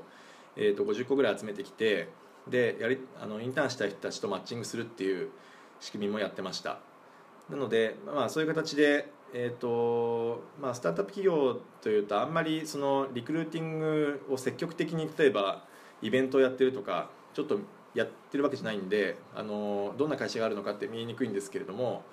あの、まあ、大学としてとか、えー、と学生のクラブ活動としてサポートする仕組みがあるのであの現地でスタートアップ企業で働いてみたいとか、えー、という人たちについてはすごくいろんなことができるのかなと思います。はい、で、えー、と次ですね、えーとまあ、授業外で、えーまあ、これ課外活動としてどんなことがあるのかということなんですけれどもまずは、えー、と教授と接点を持つ機会ってどのぐらいあるのかという質問をいただいてましてじゃあそれについてちょっとお願いします。はい、えーっとですね教授との接点という意味では、えっと、おそらくこれはまあビジネススクール一般に言えるかなと思うんですけれども、まあ、日本であの一般的にイメージする教授と学生の関係よりもやはり近いかなと思います。それはやはりあのビジネススクールの教授はビジネスをこの研究のあの材料に扱ってるだけあってやっぱりあの現場の生の情報等をあのもらえるインセンティブというのは非常にあるので、まあ、学生とも積極的に交流をしてそこでのネットワークを深めたいというインセンティブが教授側にもあるのであの非常に近いかなと思います。でその上で MIT ストローンはどういう状態なのかと申しますと、えっとまあ、もちろんあのオフィスアワーを教授が設けておりましてそこで、まあ、あのそこの時間は自由に相談に行くことは可能ですし、えっと、そののまあ特徴的なところとしてあの特定の教授と共同研究のような形であの進めるインディペンデント・スタディという仕組みがありましてこれが実際に単位認定もされることになっています。で私の友達はその金融機関から来てそのビットコインの裏にあるブロックチェーンという技術を MIT のメディアラボの教授と一緒にインディペンデント・スタディであの勉強したいということであのやっている友達もいますしあのそういったあの授業のことから一歩進んであのさらに自分の専門性を深めたいであるとかあるいは、まあ、極端な話あの論文を出したいというようなこともこのインディペンデント・スタディの中であの機会を持つ必あのかことも可能です。でえーとまあ、それ以外にその学部生との接点はあるのかという質問もいいていてこれはおそらくそのスローン以外の他学部の学部生との接点という意味ではあの、まあ、同じ授業を取っている中であの一緒にチームを組むことっていうのもありますしあの先ほどあったマーティン・トラストセンターとかそういったところで出会うということもあると思うんですけれども、まあ、これはそのかなんと言いますかその生かし方次第かなというふうなところがあります。あの特別学部生とこうマッチングさせるようなことを積極的にあるイメージではないんですけれどもあの先ほどもあったそのお互いにとってあのメリットがあるような関係っていうのが築くことができればあの、まあ、一緒にコラボライトしてあのいろんなことをする機会っていうのはあるのかなというふうに思います。はいであとはですね、まあ、クラス外のコミュニティ活動ということで、まあ、特にまあ日本関係でどんなものがあるのかっていうのをあの説明しておきたいと思います。はい、あはいえっ、ー、と,、まあえーとまあ、クラス外のコミュニティということであの一応我々のそのジャパンクラブ紹介をさせていただきますと今この、えっとまあ、WebX のもジャパンクラブのあの活動の一環としてやらせていただいてるんですけどもあの我々はその、まあ、主にその活動の目的2つありましてあの1つとしてはその、えっとこえっと、今在学しているその、えっと、スローンの日本人学生に対しての、えっとまあなんていうかいろんな事業の面とかあるいは生活面でのアドバイスとか、まあ、これは主にその2年生から1年生に対してとかあのあとはそのあの皆さんのように今後その MIT に入ってくるであろう人たちに対しての支援それは campus visit のあの対応とか、まあ、そういったことがまず一つやっているということともう一つやっていることとしてはあのスローンまたはその MIT 全体に対してその Japan というところをあのアピールしていこうという活動をやっておりましてその中ではあのジャパン C ファンクションというのをあのまず一つやっておりましてこれはあの culture event なんですけどもあのジャパンだけじゃなくてあのラテンアメリカとかあとは、え、っとまあ、イスラエルとかあのそういったいろんな国がその C ファンクションというのをやってるんですけどもあの、まあ、あの日本に関するその、えっと、出し物をやったりとか食べ物を振る舞ったりとか、まあ、そういったことで我々のそのジャパンの C ファンクションに関しては昨年は800人ぐらいの人が来場してもらっていてすごい非常にあの好評を博してたというような状況です。であとは Japan Trek っていうのもやってるんですけどもこれはあの主にスローンの学生に対してですねあの、えーまあ、日本をあの案内しようということであの spring break 中にあの、えー、去年は96人かな、えーとえーと、スロスローンの学生を日本に連れて行きましてあのいろんなその観光地を回ったりですとかあとは企業訪問をしたりですとか、まあ、そういった活動を通じてあの日本のえーと、認知度を高めてもらおうというようなあの活動をしております。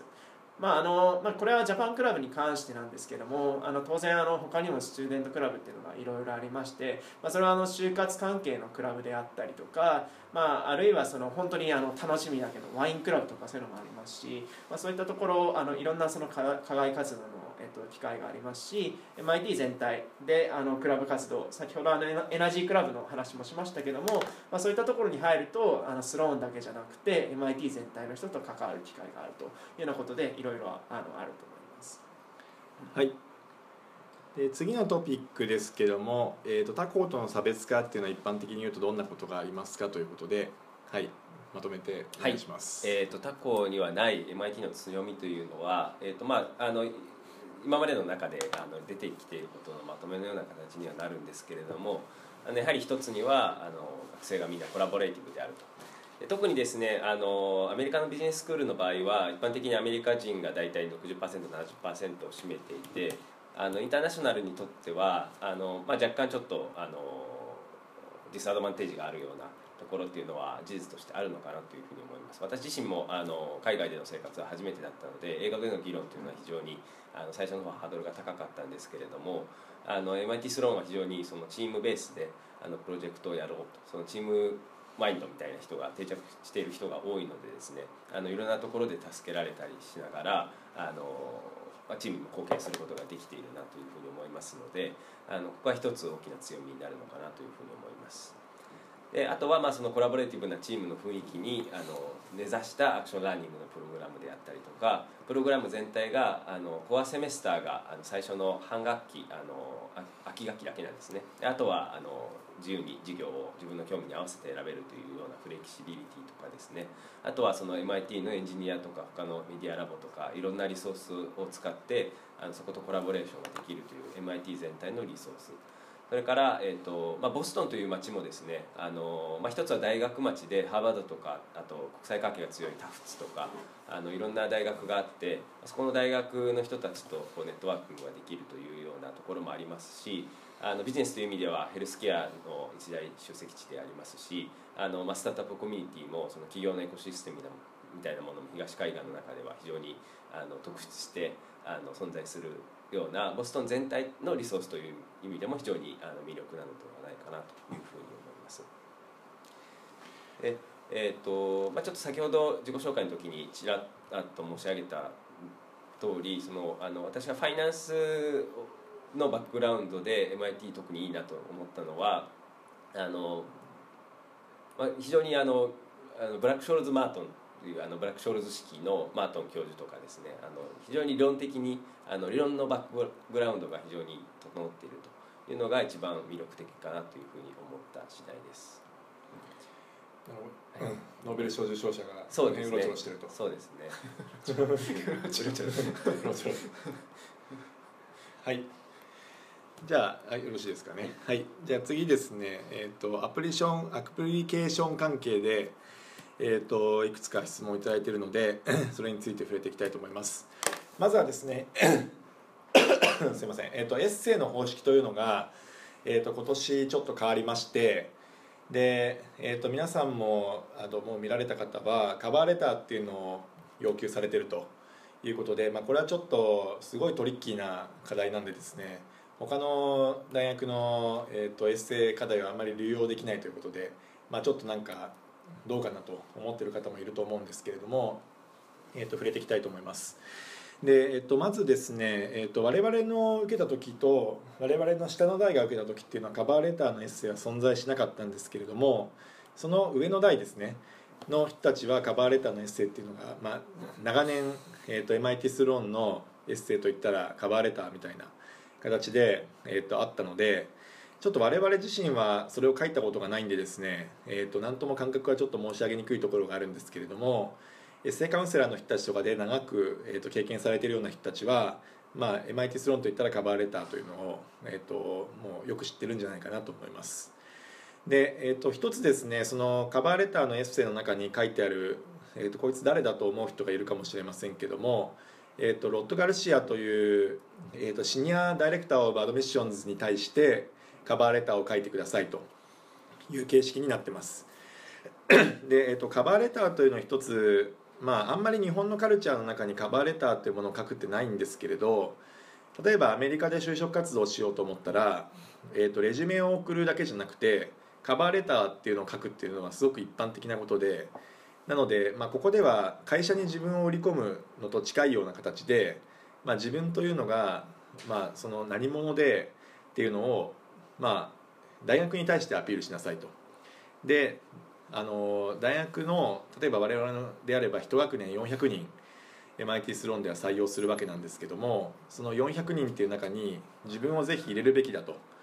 いうアピールをしなさいというのが、まあ、ここでカバーレターエッセイっていうのを要求している意味なのかなと思います。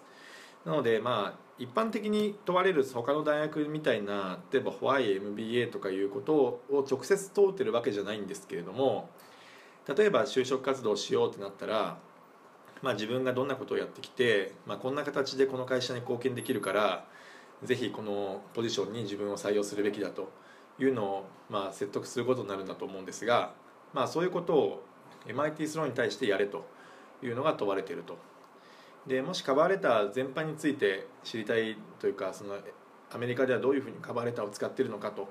いうのを知りたければ、まあ、Google で検索していただくと多分カバーレターと何かっていうのはすごく出てくると思うので、まあ、アメリカの就職活動のカルチャーの一つだということでもし興味があればその辺りも調べていただくと,、えー、とイメージがつかめるのかなと思ってます。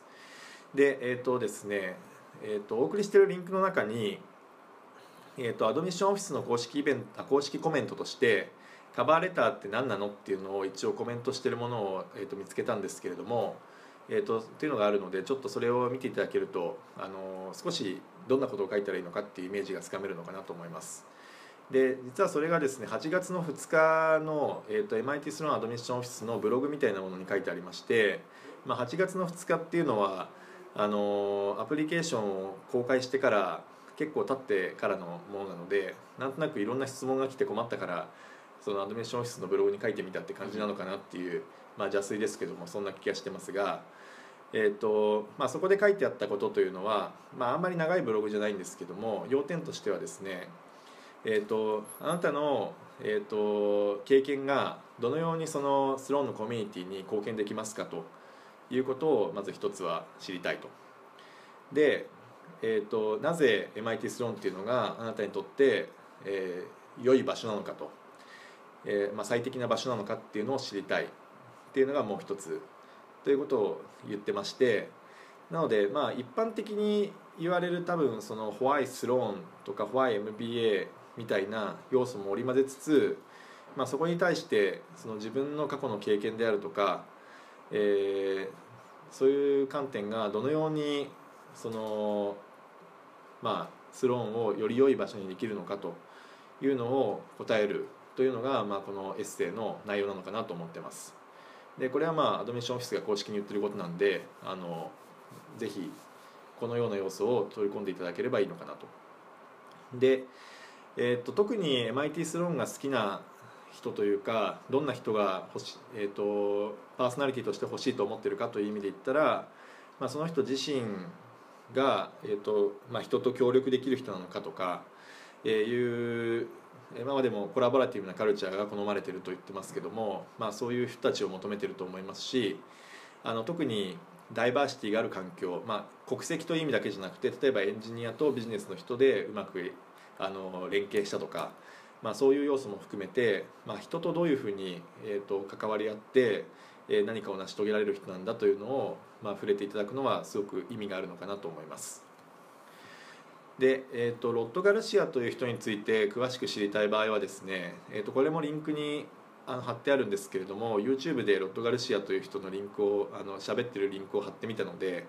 まあ、そもそもこのロッド・ガルシア宛てに書けと言われてロッド・ガルシアって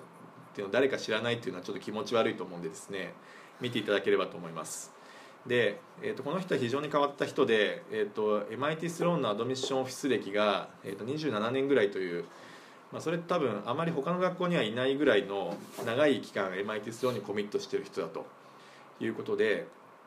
あの一般的には あのアドミッションオフィサーっていうのは結構、まあ、点々と大学の間で職を変わったりであるとか、まあ、そういう人もいるみたいなんですけれども特筆して長い期間 MIT スローンにいる人。で、まあ、彼はその MIT スローンの、まあ、カルチャー面であるとか、まあ、どんなことが学べるのかであるとか、まあ、非常に知り尽くしてあのアドミッションオフィスをやってるという人なので、まあ、あのスローンのカルチャーにはまりそうな人は誰なのかなとでその上でさらにスローンをより良くしてくれそうなこうなんていうか、えーと、こういう経験を持った人が欲しいなという視点で、まあ、皆さんのことを見てるんだと思います。ということで、まあ、ちょっと YouTube のリンクですけども、えーと、見ていただくのが参考になるかなと思ってます。はい、でえっ、ー、とですね、まあ、レジュメのスタイルとして、えーと、一応ですね、えー、はなんなんでしたっけ、えーと、課題としてレジュメはこんなものを書いてくださいっていうのが、えーと、一応あったんですけども、えー、とどんなレジュメを書いてくれというふうに、えー、と指定されてるかというと,、えー、とまずその職業であるとか、えー、とアカデミックな、えー、と履歴をちゃんと、えー、書いてねと。で、えーとまあ、 business resume えっ、ー、となんていうか business resume として、えーと、適切な他のインフォメーションも含めていいですよということを、述べてます。で、まあ、我々もそのレジュメの書き方セミナーみたいなのがあるんですけれども、えーと、そういう中で言われるのは、まあ、多分一体どんなことをアピールしたいのかっていうの次第でその書く内容であるとかあの調整した方がいいというのは言われてましておそらくそのアプリケーションのカバーレターの部分はそんなに長いことあの、まあ、255ぐらいしか書けないので、まあ、その中では、まあ、本当に要素だけを触れることになると思うんですがでレジュメの中であのそのその具体的にこの人は何を経験してきた人なのかっていうのが、えーと、分かるようなことを書くべきなのかなと。あのなんていうかカバーレターに書いたことをより補足するとか抜けてる要素をちゃんと書くとか、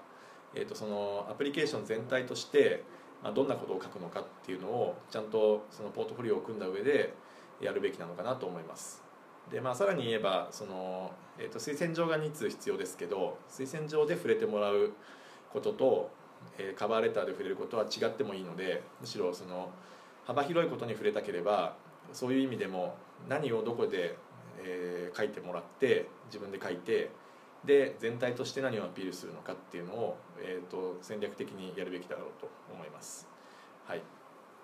でえーと、特には、まあ、その先ほど言った collaborative な雰囲気であるとか、まあ、もしくはその international experience みたいなものは触れた方がいいんじゃないかあれば触れた方がいいんじゃないかなと思いますし、えーとまあ、そういうことが分かるようなレジュメの書き方をするとよりスローに刺さるようなものになるのかなと思います。はい。で、えー、とあとですねオプショナルエッセイっていうのがありまして、えー、と何を書いても、えー、とリンクを貼る形でもいいというエッセイがあるんですけれども、えーとまあ、我々が受けた時にもそういう課題がありまして、えー、と各自、えー、とそのどんなものを出したのかっていうのを触れたいと思います。で私の場合ですね、えーとえー、とパワーポイントのスライドを作ってそれを、えー、と貼り付ける形で提出したんですけれども、えー、とどんなパワーポイントを作ったかというと,、えー、と私の出身の大学の周りであのスタートアップコミュニティを作るという、えー、とボランティア活動みたいなものを大学の教授と一緒にやってたんですけれども、まあ、そういう中でえーと、自分がその日本の、えーと、大学にちゃんと貢献している人間であると、まあ、そのいかにその MIT スローに貢献するのかっていう観点でもその今まで自分はその自分の所属したコミュニティに貢献してきた人間であるというのをアピールするっていう目的もありましたしあとはその日本のスタートアップ企業だとか、えーと研究機関と、まあ、近いところにいるということで、まあ、何かしらのそのイベントをやるとか、まあ、そういう時にもあのその自分のネットワークが生きるんじゃないかというようなことをアピールしたくて、えー、とそういうことをしました。はい。他にどうでしょう？はい。えーと、私もですねパワーポイントスライドを作りました。でえっ、ー、とまああんまりそのなんていうかあの得意なことというか変わったことをやる必要はなくてあの自分のパーソナリティをうまくアピールできるような資料を作れればいいかなと思ってえっと、私の場合はですね中学校から自分のその写真をいろいろこう引っ張ってきて、まあ、自分そのいろんなイベントが自分の人格形成にどう影響を与えたかみたいなところをあのパワーポイントにしました。で MIT はやっぱりそのコラボレーティブな人との共同がうまい人っていうのを求めているということを知っていましたので、まあ、例えば自分はそのあのスポーツ陸上競技をやってたんですけれども陸上競技で、まあ、いろんなその例えば砲丸投げをやってる人と長距離ランナーとは全然まあそのキャラクターが違うけれども、うまくマネージしてあのリーダーとしてやっていましたとか、えっと、あの現代アートのイベントであの芸術家の人たちに対してあのあの家を提供するということイベントであのボランティアをやってたんですけれどもそういったところでこうバックグラウンドが違う人とうまく共同していますよとかあとまああの仕事の中でもあの、まあ、会計士とか弁護士とかいろんなその専門のバックグラウンドを持った人をうまく生かしながらあの仕事をしていますよと。言った通りその人との,、まあ、あのコラボレーションっていうのを一つのあの軸としてそれが、まあ、あの過去の経験がどういう自分の人格形成に影響を与えたかみたいなことがあの一目で分かるような資料を作ってあの提出しましたでそれはですねあの結構そのあのビジットした時にあの、まあ、ビジットしてコーヒーチャットをしてもらったあの在校生の人に見せたりとかあるいはアドミッションの人になんかこんな感じですって見せたりとか、まあ、自分自己紹介代わりになりますし、まあ、写真があると結構イメージも分かりやすいですので、まあ、自分を売り込む資料としてあの面接の時とかにもあの持参して使えたのであの一つおすすめなのかなというふうに思ってます。じゃあ僕も一応あのご回答しますと。僕はあまりあのあの真面目にこれ書いてなくて あの普通にそのレジュメとあとエッセイで書ききれなかった内容っていうのをあのオプショナルのところで書いたということで普通のなんていうか他校のオプショナルエッセイとかもまあそういう感じでやったんですけども、えっとそういったことをあの何何行か書いたということであのほぼ意味なかったんじゃないかなって思うんですけどもあの裏を返せばやっぱりそのオプショナルエッセイなのであのアドミッションオフィスの人も非常に忙しいですしあのもう、まあ、ざっと見るだけだと思うんですね。だからその、まあ、ここがもうあの絶対書か絶対ここでアピールしなきゃいけないっていうことではなくてあのプラスアルファで何か伝えることがあってそれがあのインパクトのあるものであったら、まあ、いいんじゃないかと思いますし、まあ、あのビデオエッセイをビデオをあの撮影してそれを載せるっていう人もあのいると思うんですけども、まあ、それもあのいい面悪い面両面あると思っていて、まあ、あのそれなりにあの、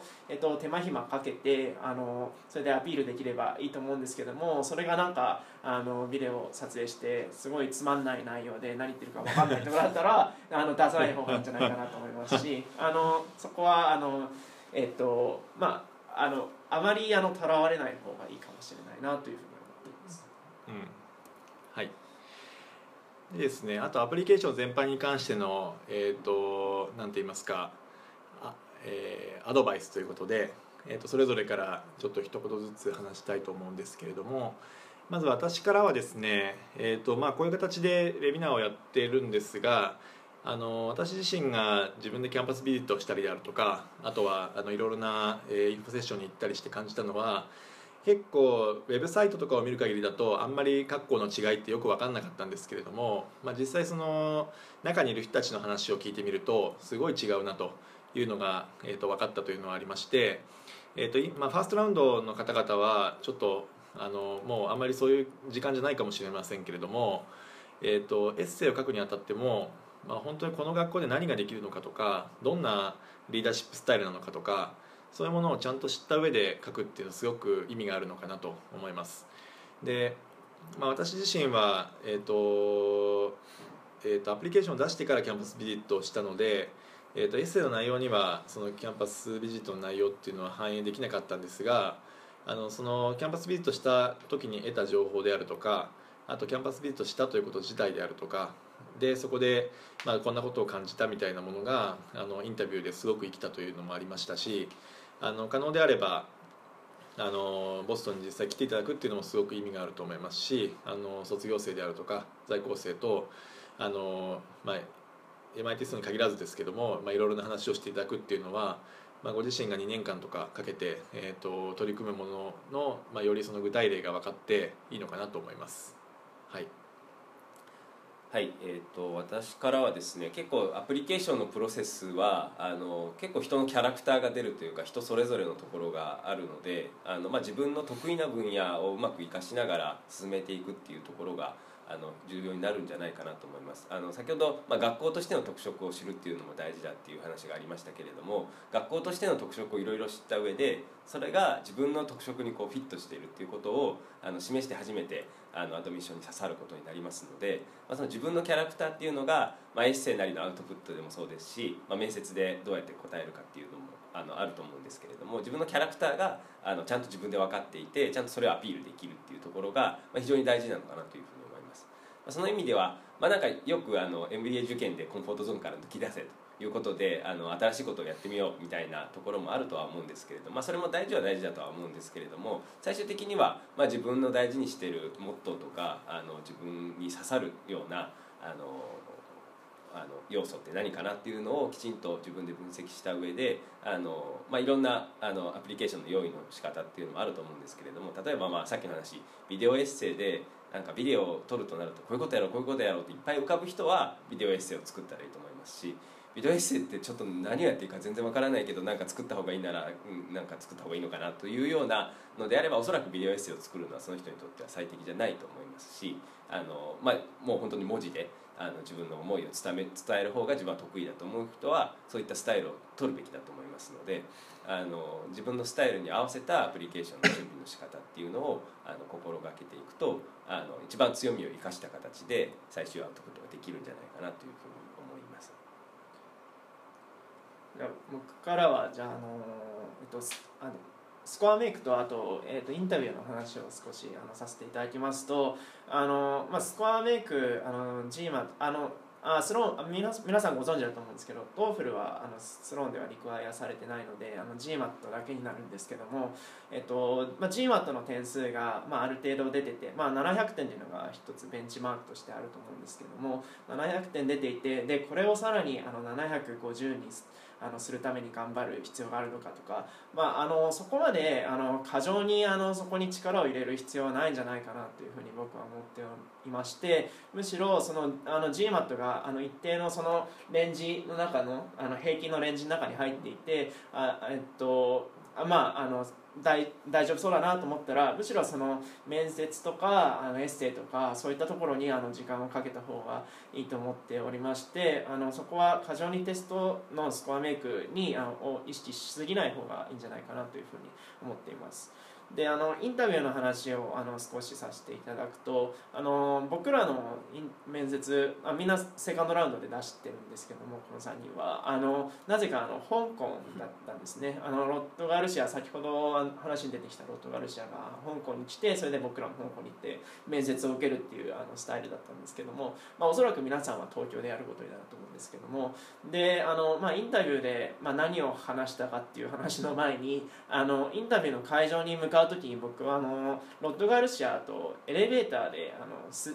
れ違ったというかあの彼がその面接会場に行く途中のエレベーターで僕もあの一緒になってで、まあ、彼はあのランチをかあのランチを買いに行って戻ってきたところだったんですけどもでそれであ僕がそこで声をかけてなんていうかあの普通に世間話をしたんですね、まあ、そこがなんかあのいいアイスブレイク的な感じになりましてあの非常にあの雰囲気が和やかになってそれであの面接もあのスムーズに入っていったっていうのがあるんですけども、まあ、これは完全にちょっとあのまあ、エレベーターの中であったっていうあの運的な要素もあるんですけども、まあ、それもあのあるんですけどもあのよりその面接官とのその会話を楽しむというかそういったことも意識された方がいいと思っていてやっぱそのロッドガルシアも1日にななあの10人も 20, 人はないな10人とかあの、えーと、それを何日間にわたって面接をしているわけでやっぱその非常にあの大変なんですね、まあ、そんなな忙しい中あの皆さんとあの面接をしているということであの、まあ、お互いにその有益な時間になるようにあの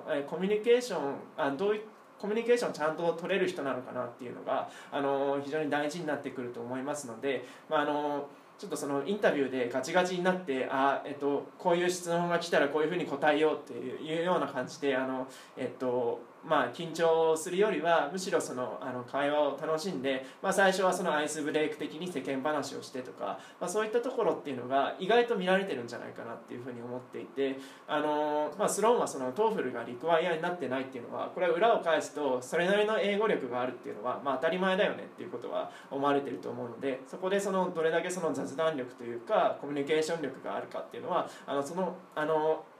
面接の段階であの結構見られてるんじゃないかなと思います。面接官が Rod Garcia だっていうのは、まあ、ほぼ決まってるんですけれども他の学校だと卒業生が会いますみたいなものと Rod が会いますっていうのは結構違いがあってあの卒業生が合いますっていうスタイルの学校だと、まあ、幅広くいろんな人を呼ぶことができるわけですね。ただロットが1人で全員と会ってるんで、まあ、彼のキャパにはまる分しかインタビューに呼ばないと。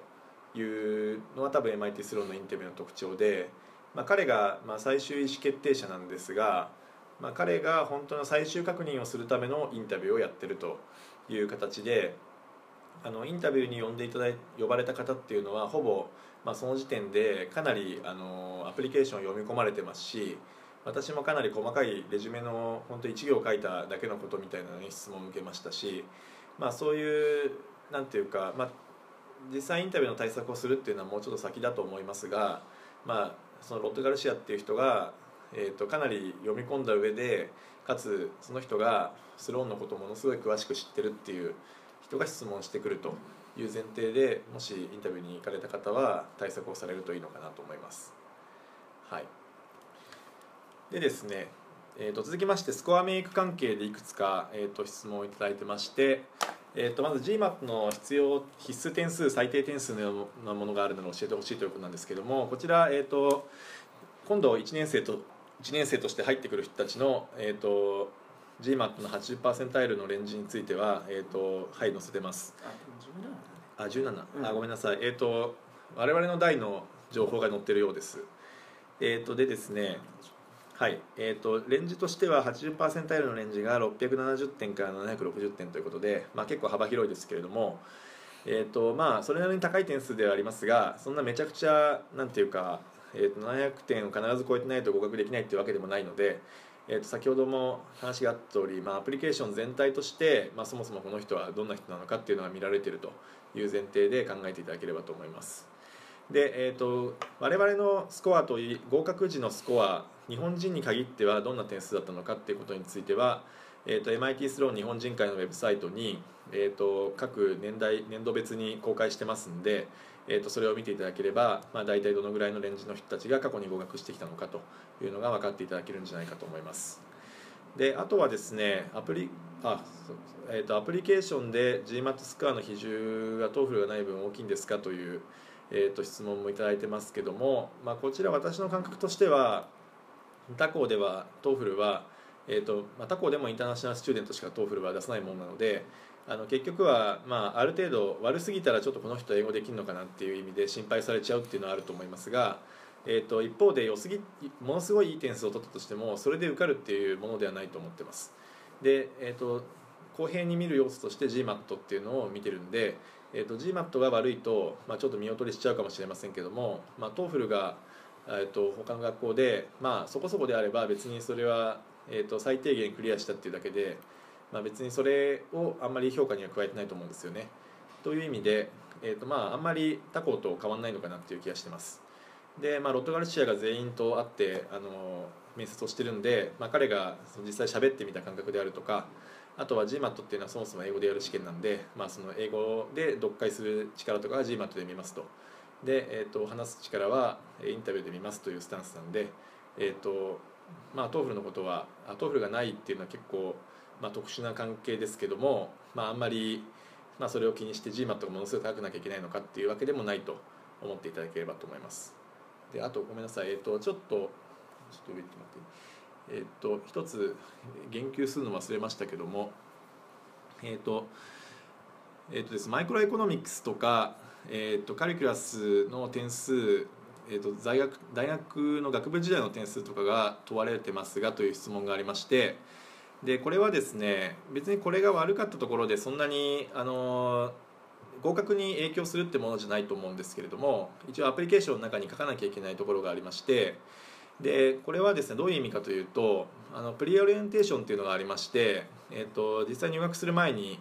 えーと、1週間ぐらいそのオリエンテーションのさらにその前に何ていうかビジネス経験がない人とかインターナショナルスチューデント向けのちょっとしたコースみたいなのがあるんですけれども、まあ、そこの中で特定の、まあ、今まであまりその数学というか代数ですね、まあ、高校レベルぐらいのあの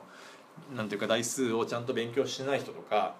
あとはまああまりその経済学について全然詳しくない人とか向けに、まあ、特別なちょっとウェブ上の歩行みたいなものがありまして、まあ、それを受ける人がどのぐらいいるのかなっていうのを把握したいという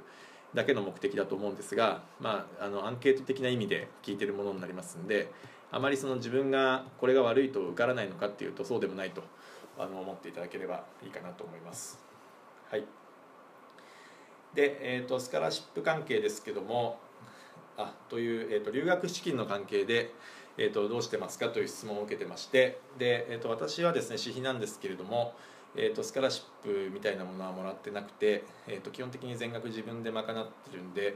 自分の経験としては喋れないんですけれども、まあ、一応 MIT スローンの中に、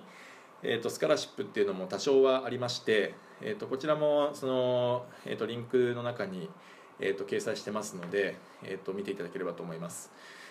えーとまあ、国別で日本人が対象にならないようなものっていうのも結構あるんですけれども、まあ、成績が良かったりとか、えーと、コミュニティに貢献度が高い人とか、まあ、そういうくくりであのスカラシップが出るようなものもありますので、まあ、一応、えーと、可能性はなくはないと。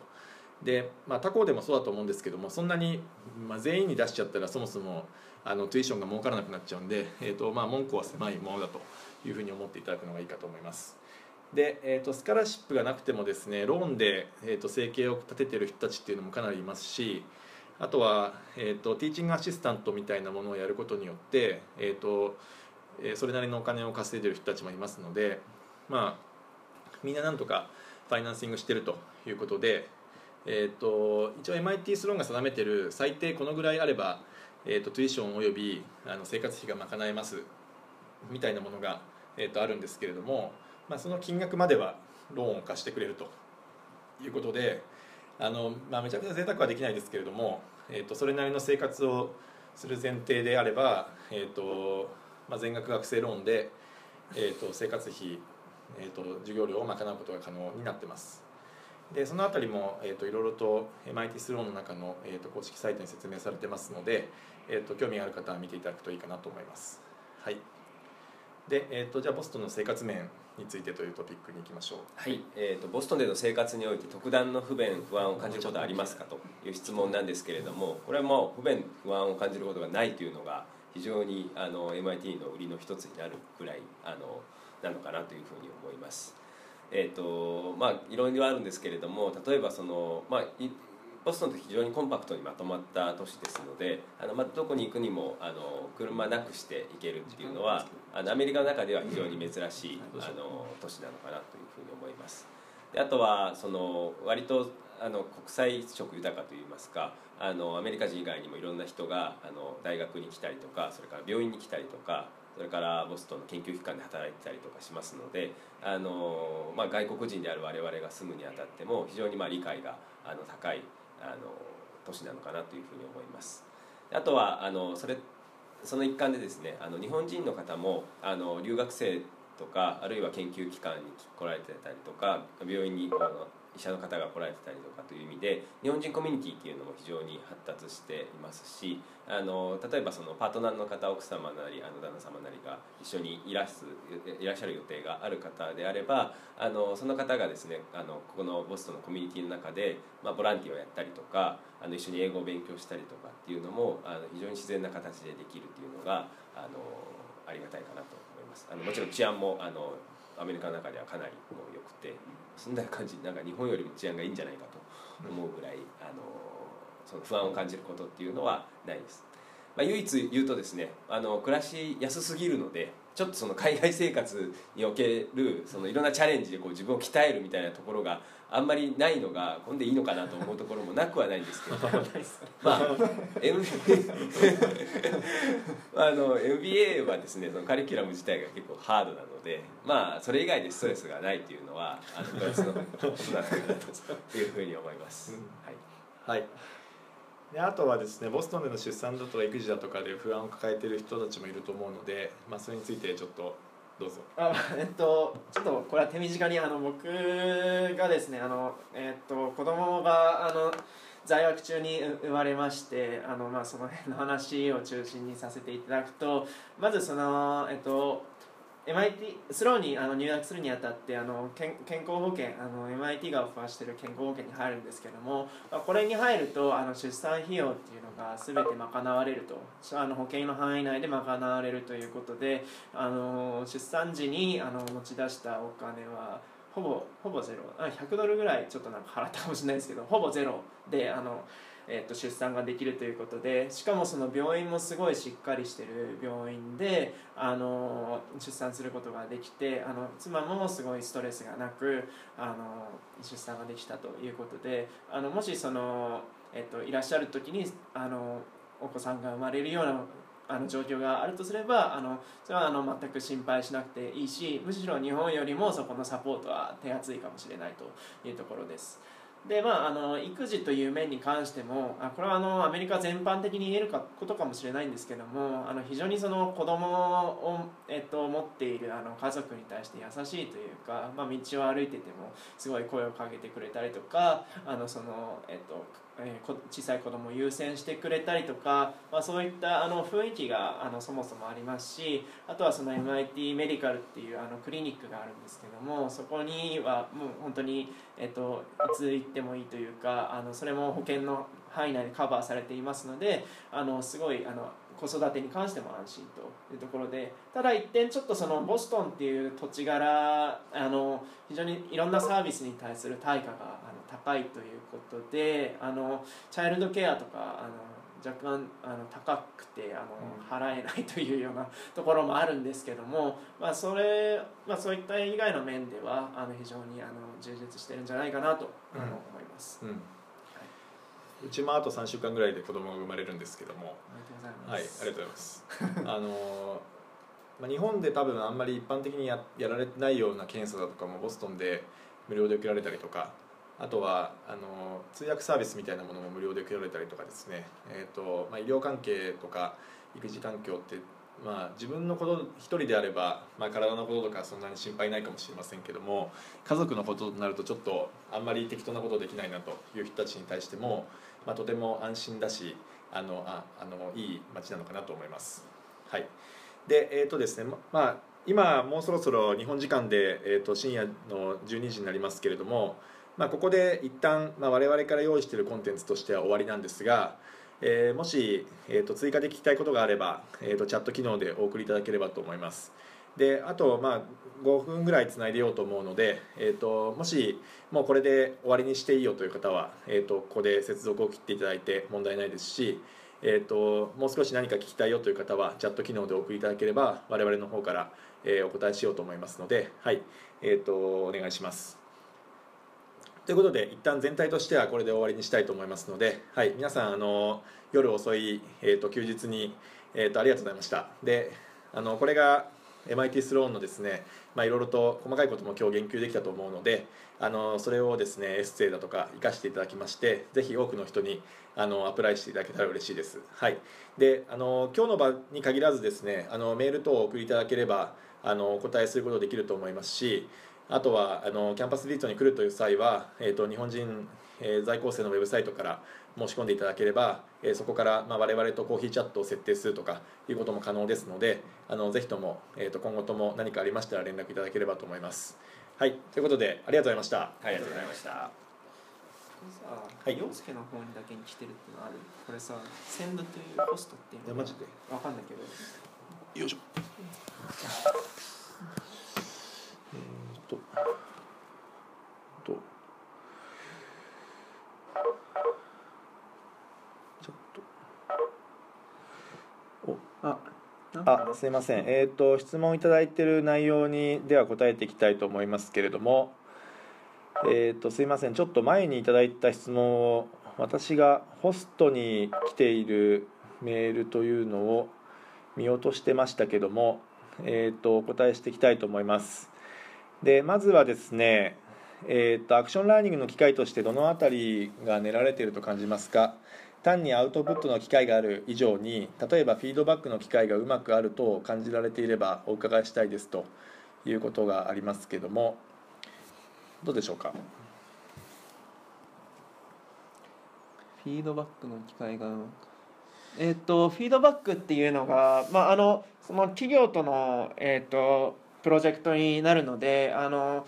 その、えーと、成果物をあの企業に対して出さなきゃいけないんですね。まあ、それであの、まあ、あのフィードバックっていう面ではあの自分たちがやったそのプロジェクトあの自分たちの提案した内容に対してその、まあ、どういう反応が、まあ、ある意味お客さんになるんですけどもどういう反応があったかっていうのを、まあ、ダダイレクトに見れるのであのそこはあのえーと、フィードバック得られますし、まあ、それはあの教授とかの側からはもちろんその、えーと、成績として返ってくるので、まあ、そういったことで自分がやったことに対してのあのフィードバックっていうのはあのあのよよく見えるというか可視化されてると思います。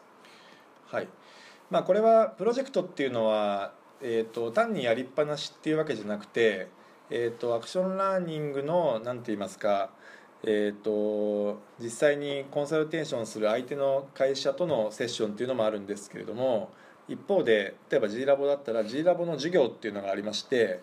でその授業の機会はそれを受けてる人たちがみんな集合してでそこで、えーと、その organize してる教授がいてそこからのフィードバックをもらったりとかあとなんか過去に失敗した事例みたいなものがケーススタディになっているっていう話を聞いたことがありますが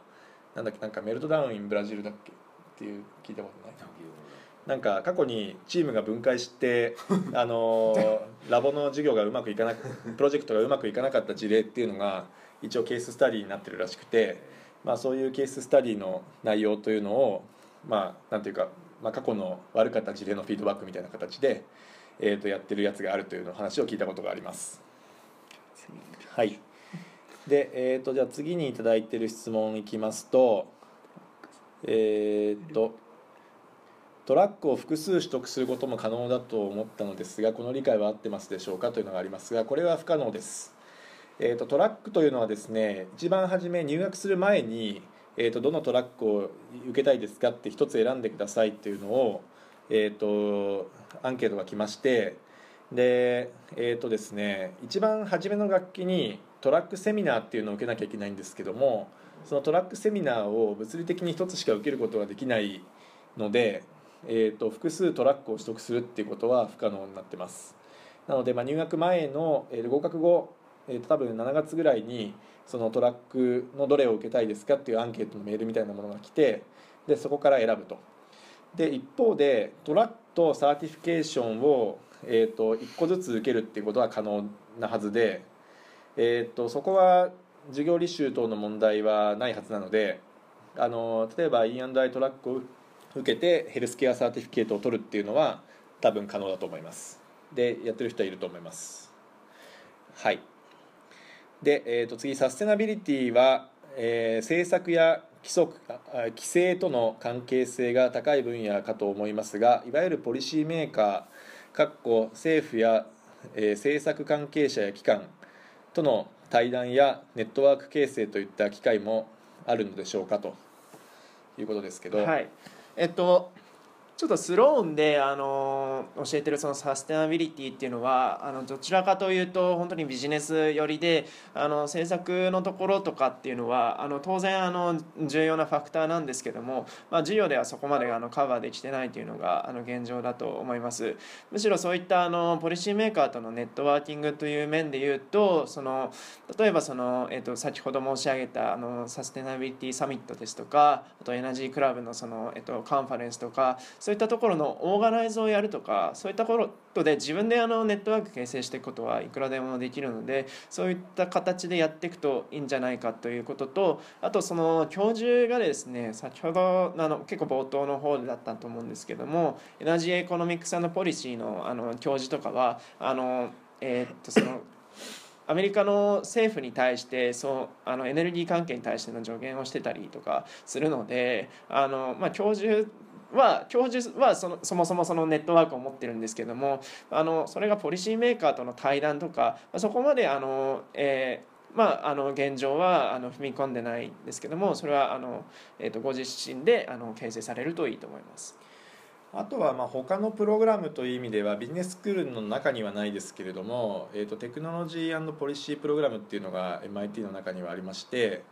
えーと、テクノロジー自体を学ぶというよりもその規制の関係であるとかも含めてそのテクノロジーをいかにその活用していくための規制であるとかポリシーの面を学ぶというプログラムがあるんですね。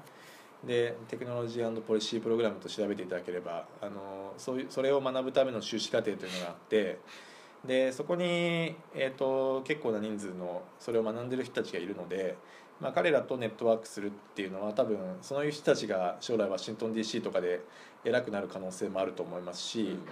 あのあとはそういうところがやってるカンファレンスみたいなものも結構あると思うのであとはまあそこの授業を受けに行くってこと自体もその単位の互換制度の中で可能なんでですね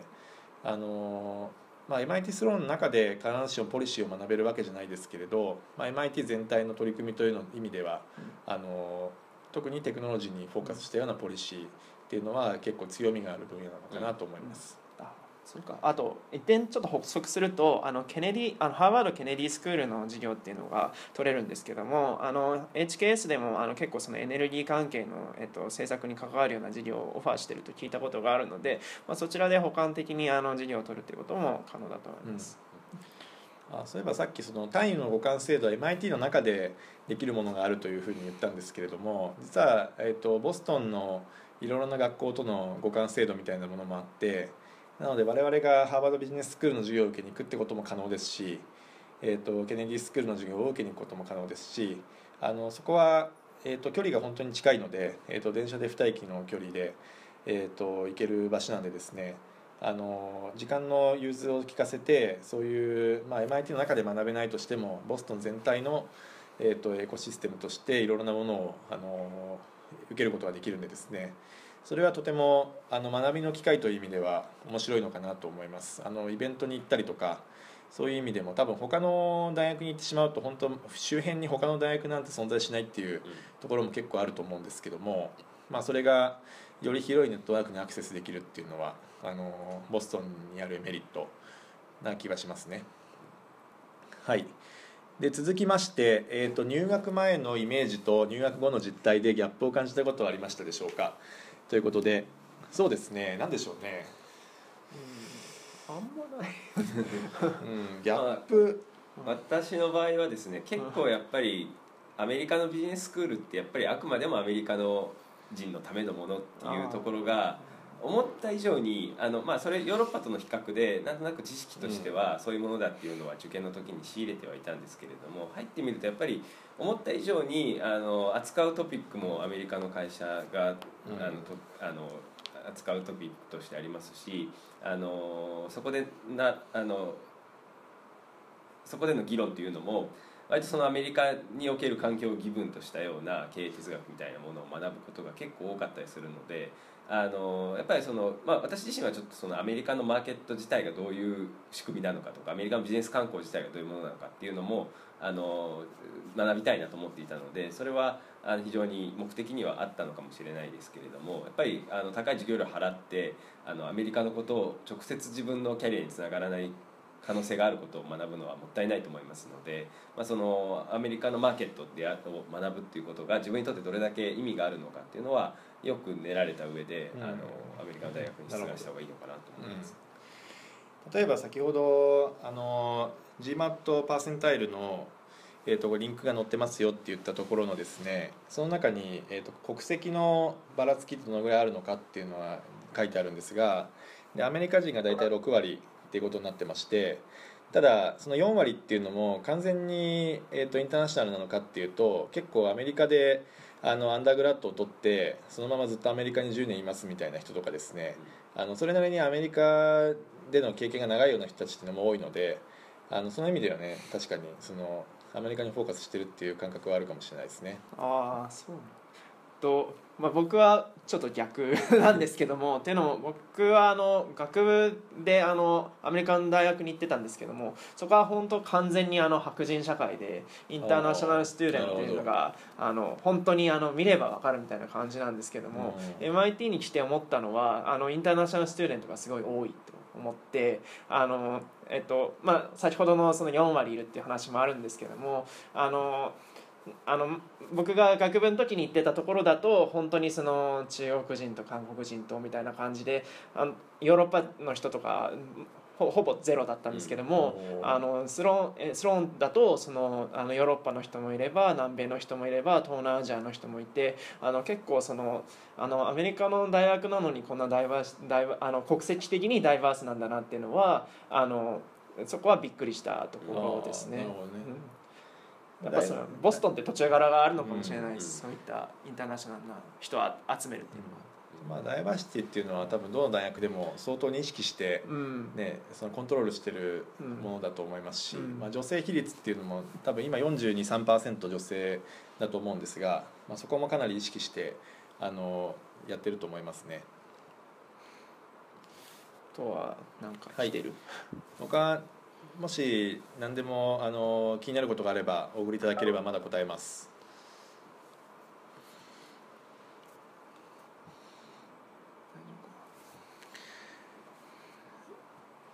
じゃああとまあ23分つないでますけれどももし何もなければ、えー、それで切りたいと思います。あと何でしょうね。えっ、ー、と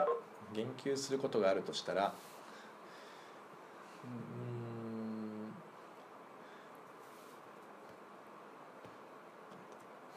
最近の MIT スローのトピックとしては